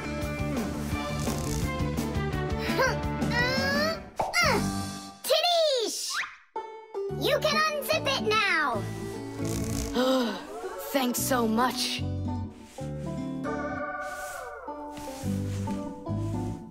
Here it is, a thread. That's what the whole problem was. You're kidding. So I've been sweating because of some piece of nothing? In technology, every little thing matters. I remember when scientists built one of the first computers around 60 years ago. It was a giant machine. It filled up several rooms and had more than a million parts. It was a technological wonder. But all of a sudden, this technological wonder went kaboom and broke, and no one understood why. The computer just stopped working, and that was that. The scientists were going crazy. They couldn't find a problem. Turns out that this huge computer broke because a little butterfly had flown inside the computer and got stuck in between some contacts. Yes, it's true. This huge machine went crazy because of a little butterfly. And that's how it goes. So you see, every little thing really does matter. Tom Thomas, breakfast is ready. What are you doing in your jacket? It's because I was playing Polar Scientist. Hmm. Simka, what took you so long to figure it out? I just, just thought it would be funny to see Tom Thomas do his exercises and brush his teeth in his coat, that's all. That was your plan? Well, yeah. Can I joke around a bit? The nightlight. They're very close. I can feel them. Ah, help me!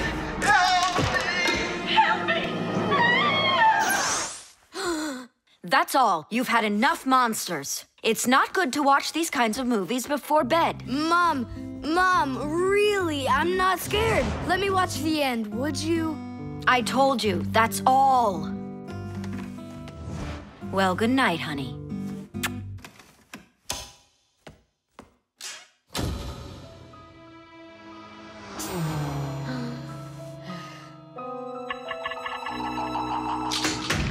Ah!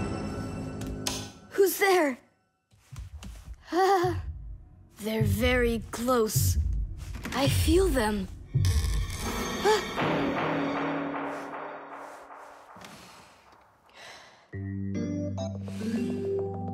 Can you believe it? He's sleeping, and he didn't turn the light off. Yeah, and so? And so, if every human went to sleep with a light on, there wouldn't be enough electricity to go around. Hup! Everyone can probably remember walking into an empty room with the lights turned on. Or finding a TV on that nobody's watching. One little light or TV might not seem like much, but just imagine how many people are living on this earth. Well, if everybody forgot to turn off the lights or TV when they weren't being used, the amount of wasted electricity would equal the amount of energy produced by a hundred power plants. And each of these power plants needs freight cars of coal or rivers of oil to keep running. And all that fuel has to be extracted and burned constantly. Now do you see how expensive burning a light bulb is for the Earth?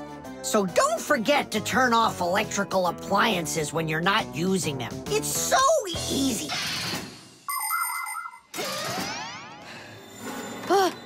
Who turned off the light?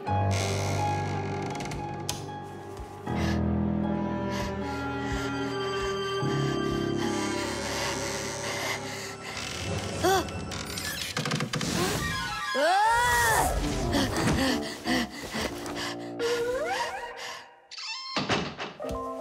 very close. I feel them. I feel them. I feel them. Look, what's up with him? I think he's playing sleep hockey. Looks like his position is left out. Ha ha. Anyway, he should get a penalty for wasting electricity. Monsters! Hey, what do you think we are, hockey pucks? Nolik, Simka, forgive me. Who did you think we were? Mm, monsters. Huh. Well, I see how you could mistake Simka for one, but obviously not me.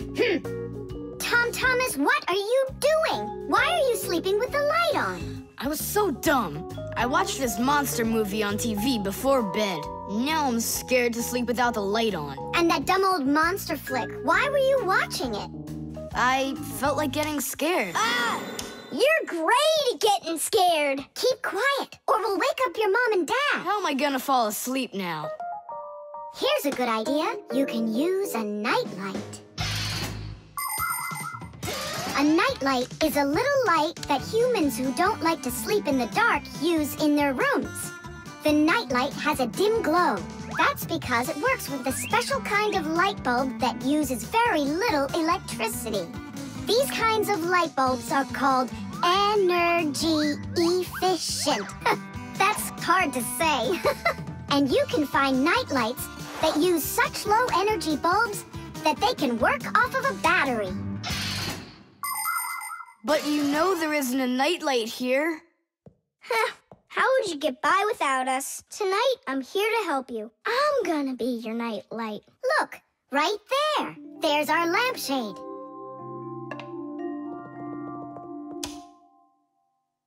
Thanks so much. You really are a friend indeed, Nolik. It was easy. Just go to sleep. Nolik. Do you know any good stories? I know one about a big meat grinder. Nah, no way. You'd better tell me a story about a nice kind fixie. Ah, I know a good one. And here's how it goes. Grandpus was working inside of a very big clock. Actually, the clock wasn't that big. And I'm not sure if it was Grandpus, but it was a clock. I think. The piggy bank.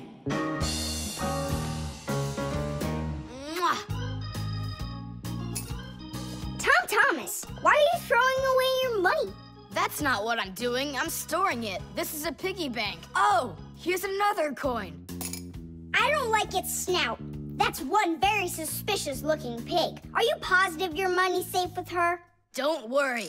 Whatever I put into my bank here is not getting back out. This piggy bank won't give up a cent. You greedy piggy! Come on, Nolik. Simka must have taught you about how banks work. Humans came up with the idea of piggy banks because they wanted a good place to save their coins. For storing lots of money, people use a safe, a large metal box with a very strong lock. Now that kind of piggy bank's almost impossible to break open. The biggest safes are in banks. Banks use them to store their customers' money and other valuables. There are even safes in banks that are whole rooms. You'd need an awful lot of change to fill up one of these piggy banks. So why are you saving up all this money? For roller skates. How much more do you need to save? I don't know. I can't see if there's enough in there. Then just go and open it. But there's no way to do that. The only way is to smash it real hard. So smash it. Yeah, forget it. I have nothing to put my money into. But what if there's already enough for roller skates? And what if there's not? All right, then I guess I'll count your money for you.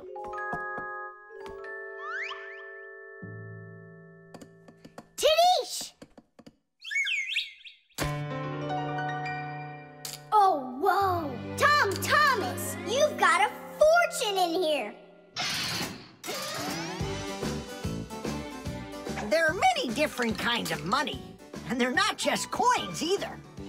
Long ago, people paid each other with shells and squirrel skins and even parrot feathers. And of course, metal coins are more convenient than any of those things. And paper money is even more convenient than coins. One piece of paper can be worth as much as a hundred coins, or even a thousand. All that needs to be done is to print more zeros on it, and that's all. Today, humans can pay for almost anything without paper money or coins whatsoever. If you have enough money in the bank, you can just walk into a store, give the cashier your bank card, and take your purchase home with you without handing over any money. The bank knows how much money you spend, and they pay the store for you later. It's so convenient. So, will you count them? Here we go. One coin and two coins. Wait, Nolik, what one coin, two coins? What are you counting? You have to add together all of the different numbers. Huh. You should have told me that before. Ah, I never learned how to. Yeah, that's what I figured. Come on out. Hut! Hut! Hut! What can I do? What if you try stacking the coins so they're like stairs? That's what I'm already doing. Oh, ah! Why don't you try tilting the piggy bank over? Hang on. Stop! I'm getting buried! Put it back the way it was before! This is worse! Ah! Just put the pig down! Nolik, hang in there, please. I'll get some thread and lower it down to you. Eeh!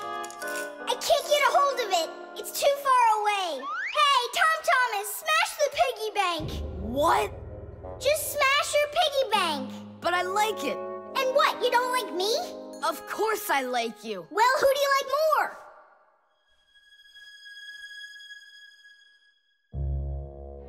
You're my friend, aren't you? Of course. Then smash the piggy bank, will you? Okay, Nolik. I'm gonna do it.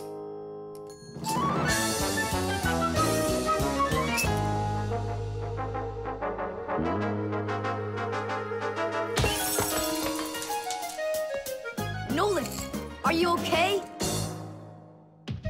I'm okay. Thank you, Tom Thomas.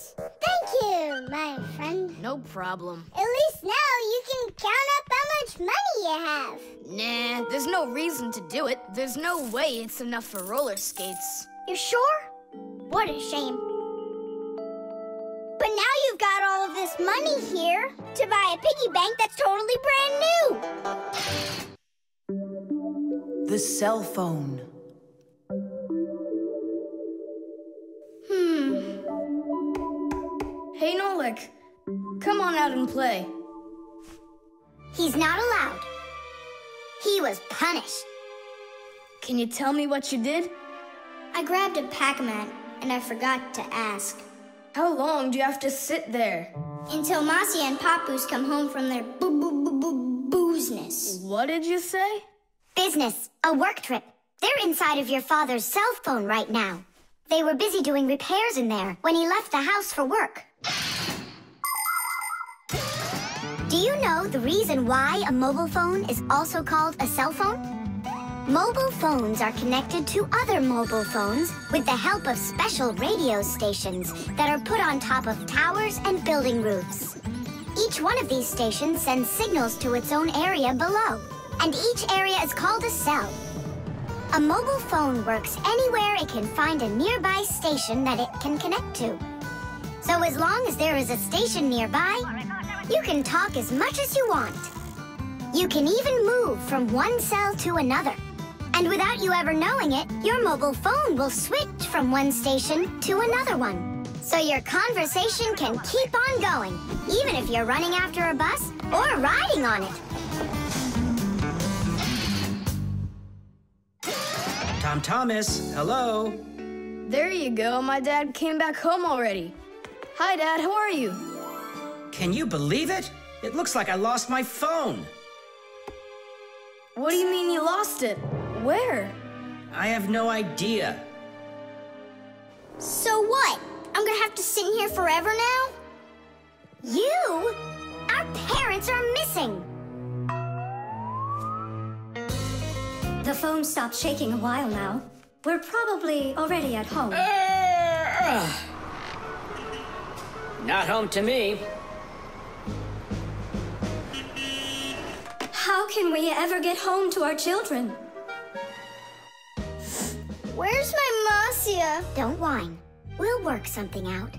Don't worry. I got a phone. Let's give him a ring. They can't answer your call.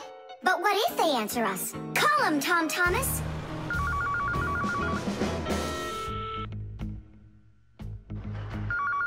I. Don't even think it. We're not allowed to talk to humans. We're not gonna talk to them. We're just gonna listen. We need to close the contacts.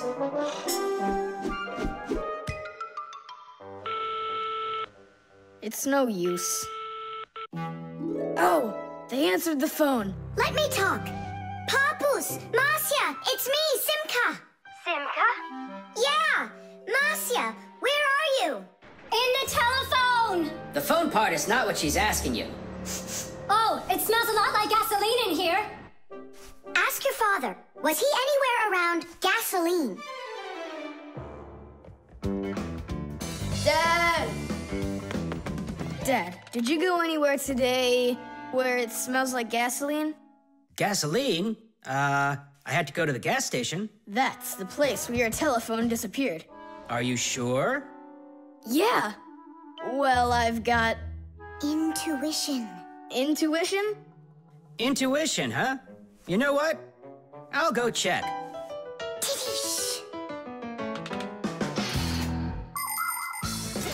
Come and check out our Fixie ringtone.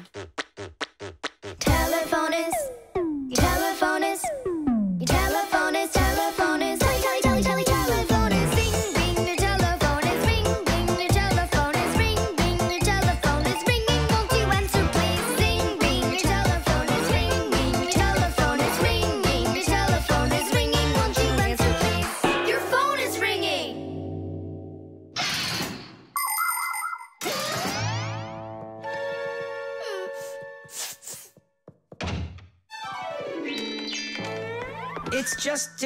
incredible. You see?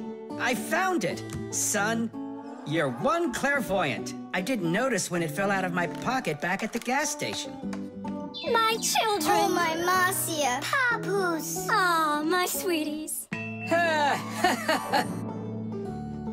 So, uh, just by any chance, you think you might happen to know where I can find that nice watch I lost? No.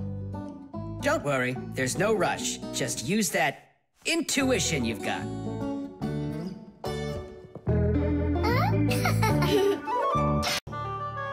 The magnifying glass. Case number one. Let's begin. Well, well. I see evidence of the criminal. The criminal's fingerprints, to be exact. He won't get away with it.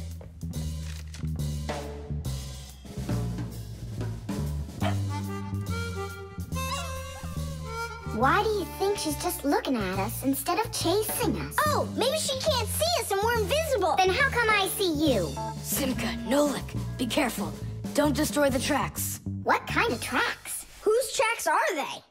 Shh, I have to solve a crime. A crime? What kind? Someone stole a wing from this plane, but I'm on the trail. Take a look at that fingerprint. I'm looking. Well, and so? Each fingerprint is unique, so if you can find fingerprints, that means you have a good chance to find out who left them. Class! It's been known for quite a long time that all humans have their own unique fingerprints. It's true. No two people have the exact same fingerprints, and this fact helps the police catch criminals. It starts by finding fingerprints at the scene of the crime. Then the police compare those fingerprints with the fingerprints of someone who may have committed the crime. If they match, they found the criminal. This method is called dactyloscopy. Besides catching criminals, fingerprints can also be used to replace ordinary keys. When you press your finger against a special electronic lock, the lock recognizes your fingerprint, and then it's please come on in. By the way, unlike humans, we fixies don't leave fingerprints anywhere, and that's why even the police can't find us. Now we'll put a dog on the scent of the criminal. Chusaka, sniff. Pick up the trail. Now go find. Hey, what's wrong? Chusaka's broken. We've got to fix her then. How? She's not a vacuum cleaner. She's a real live dog. Fixies know how to fix it all. Not true. Almost all. The first thing we have to do is a thorough inspection. Let's see now. Her eyes are looking quite healthy. Good. Tails in one piece. Ears are clean. Yeah. Tongue, rosy pink. Tom Thomas, stand her up on all four feet. No, paws, I mean. Uh-huh. Chusaka, go on, you're fine. Now I understand. Here's what's out of order. It's her right paw. But I can't see what's wrong. I wonder if something's broken on the inside. Wait, maybe something really small is stuck in her paw there. Tom Thomas, we need your lens. Here. In order to examine a small object, you need a lens. A magnifying lens is a special piece of glass that is thicker in the middle than on the sides. It bends the light that passes through it. And that is why, if you put this kind of lens between your eyes and something small, it looks like the thing got bigger. If you put two lenses in a frame, you get a pair of glasses. And if you add a handle to the lens, you get a magnifying glass.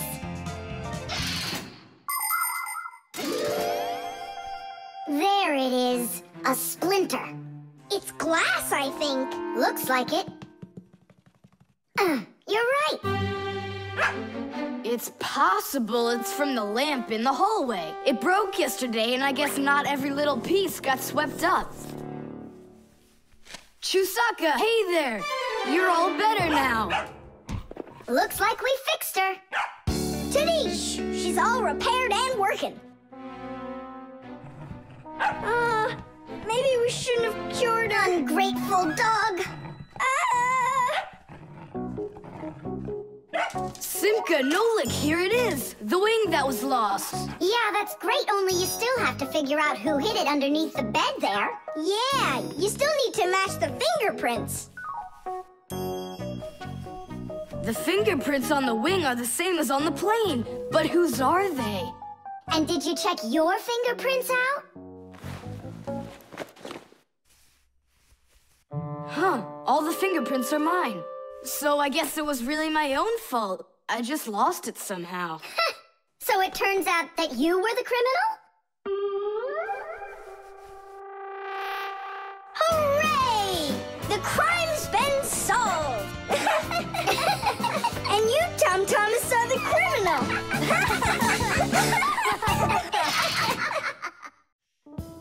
The flashlight. Where is that thing? Hi, Tom Thomas. What are you looking for? The flashlight. Ah, here it is. Why do you need it? Katya, I want to talk with her. Why not use the phone? This thing's a flashlight. It's not a telephone. No, you don't understand. Me and Katya came up with a secret code. If I flash just once, then it means hello there. Oh, and Katya's also said hello there to you. And two flashes? What's that? Katya's asking if everything's all right. Now I'll tell her that everything's good. Oh, what's wrong with this? I think it's not working right. I see, Nolik. But what's wrong? Any flashlight is nothing more than a battery and a light bulb connected by some wires that are used to make a switch in between them. To turn on a flashlight, you flip on a switch. That lets the electricity flow through the wires from the battery to the bulb so it lights up. And if it won't light up, that means that the battery is dead, the light bulb is burned out, or the switch is broken. And now let's put all this theory into practice. I'm sorry, but I don't have time right now. Don't you get it? If I don't signal back, she'll think that I don't want to talk to her, and that would just be terrible. Just don't get all worked up. We'll help you. But first, we need to get the Mac, uh, uh, uh, the Pac-Man, and come right back. See ya. Did you hear that? Masiya, what a weird sound. Uh-huh. That's new. now we know what the noise was. Papus, can we use a Pac-Man? To fix a flashlight. Really, did you say a flashlight? Do you know the story about when Granddad had to travel for miles on top of a dog? It's true! He was sent on a very important mission. A huge flashlight repair. What kind was it? A special kind called a lighthouse. A lighthouse is a tall structure with a huge flashlight on top of it that is used to help ships and planes find their way. People have been using lighthouses since ancient times. The most famous of them all is the Lighthouse of Alexandria. It was built in Egypt more than 2,000 years ago, and it was more than 100 meters tall. The ancient Greeks considered this lighthouse one of the seven wonders of the world. In ancient times, people would burn big fires on top of lighthouses. Today, the light comes from powerful electric bulbs. Many of today's lighthouses not only give off light, but they send radio signals too. Yes, thanks to lighthouses, ships and planes for miles around learn where they need to sail or where they've got to fly in order to stay safe. And thanks to that heroic deed of your grandfather, that big old lighthouse started working. Since then, not a single ship has ever gone astray. Simka! And what if we don't just fix the flashlight, but we do something heroic? Like Grandpus did. Uh-huh. All right, what do you say? Let's jump on the back of this dog and get moving. Yee, yee, hoppa! What? What? What? What? Stop ducking! Grab hold of my hand. Uh-oh.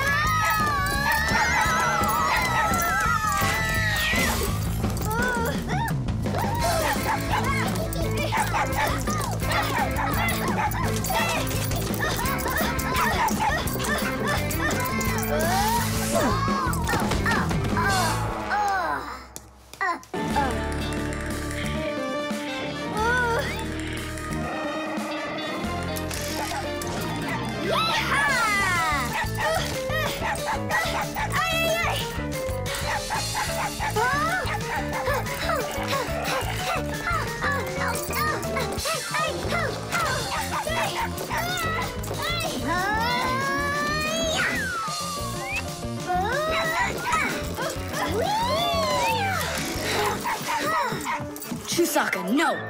Get out right now. Tish! That was really some heroic deed. Now it's time to go get that lighthouse fixed. Tom Thomas, hand the lighthouse over. What kind of lighthouse? The one that's your flashlight. Uh, I have no use for it. What do you mean, no use for it? But then how are you gonna tell Katya what she needs to know? I already told her. Watch this. No, that wasn't the deal. Yeah. You want to tell us our heroic deed was in vain?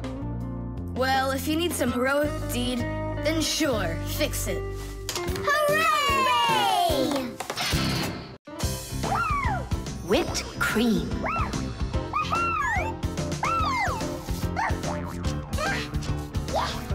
Nolik, please stop your jumping. Your head's gonna fall off. Don't worry, it won't fall off.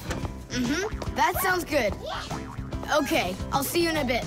Are you going somewhere, Tom Thomas?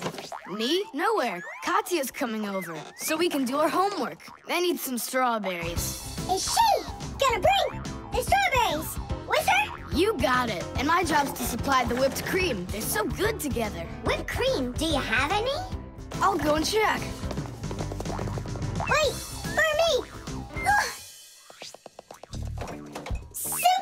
What do they make cream from? It's made from milk, and the milk you can get from a cow. And what about whipped cream? The cow jumps up and down like you, so the cream can get whipped up. Really? I'm joking, Nolik. I looked everywhere. We've got regular cream, but there isn't whipped cream. No problem. We can whip some up right now. Cream is thick milk with a lot of fat. If you want to make whipped cream, you need to cool down the cream, add some sugar, and then beat this mixture very well. This adds tiny air bubbles that turn the cream into a delicious white, fluffy foam. But it's important not to overdo it. Or instead of getting fluffy, the cream will start getting thicker and thicker until it turns into rich, creamy butter. How are we gonna whip it up?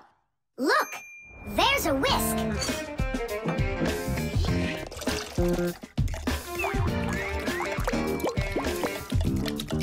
Ah!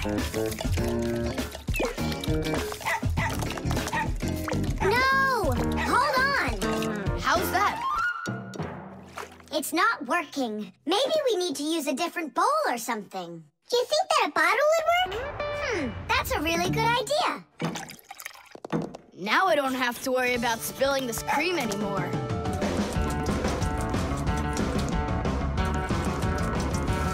Shake it with both hands. Come on, come on, come on, come on, come on, come on, come on! Shake it harder, Tom Thomas! That's all. I'm just too tired. The cream looks exactly the same as when you started. You didn't try hard enough. Oh, really? Then try whipping it yourself. I got it. That's who's gonna help us. Chusaka? Yeah, awesome. Bring it down!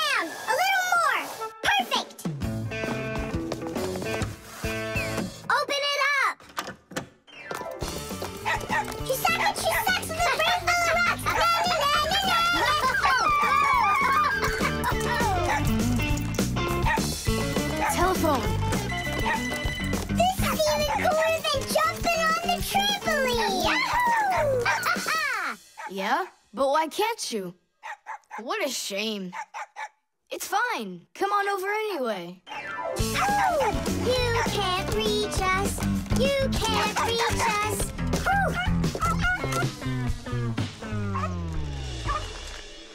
I'm so tired. I'm sure that at least we got the cream whipped up. Oh, see that, Zuka? There's no cream left. Just some yellow stuff. It's butter, I'm sure.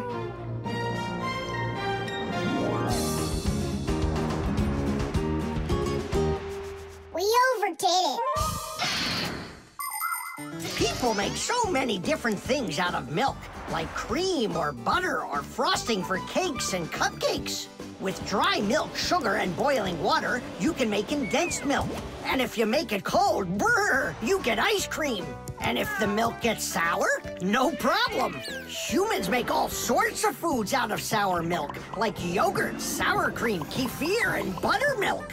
If you drain off the extra liquid from sour milk, you'll have cottage cheese. And by boiling milk a special way, you can make all sorts of different cheeses. There are so many kinds of cheeses made throughout the world that it's hard to even count them all.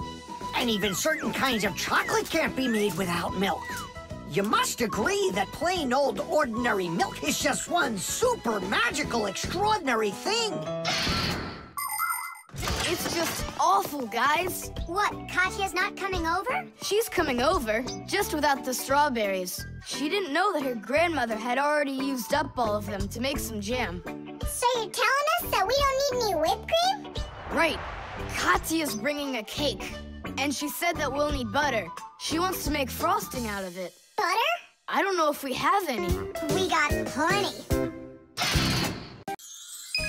The magic wand.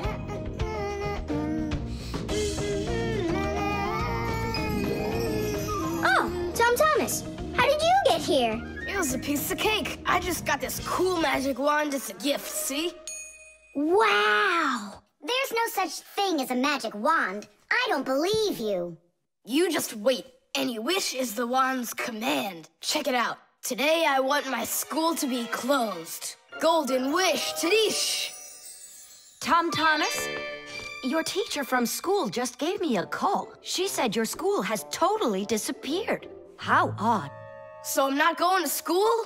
Well, how? Instead of school, we'll go to the park. Hooray! Real magic. Oh, it's so great. No, there's no magic. They're only illusions. I don't know what illusions are. It's when what we think we're seeing is not what is actually happening. Have you ever seen a magician pull a rabbit out of an empty hat? Do you think it's magic? No, it is only an illusion. In reality, the rabbit's hidden inside the table that the magician puts his hat on. The lid of the hat is made with a secret hatch. And when the magician puts his arm inside the hat, he grabs the rabbit from the table below and ta-da! How every magic trick works may be a secret, but every illusion does have an explanation. I'm telling you, this wand's totally magical. Right now, I can make a rabbit appear out of this trash can for you. Golden wish, Tadish! Oh, that wasn't the idea. Looks like a dog to me. Wait, one more time. Golden wish, Tadish! Hmm. Golden wish, Tadish! Tom Thomas, will you cut it out? One Chusaka was already enough for us, and now there's three. Ah, ah, ah!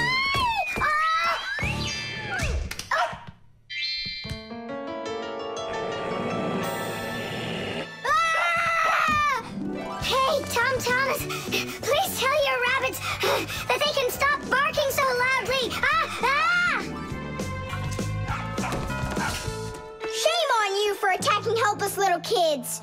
Wait, I'll make you bigger now. Golden wish, Tadish!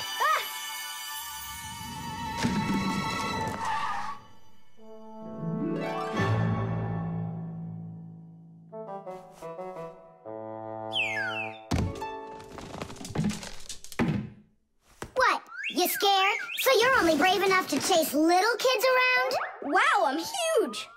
I'm as huge as Tom Thomas. I'm huge. Oh, Nolik, be careful. Ah, ah. Ugh. How can you live being this tall? It's so inconvenient. And I thought it was tough when you were so tiny. Tom Thomas, are you ready? Hey, why do we have three dogs all of a sudden? Oh, my word.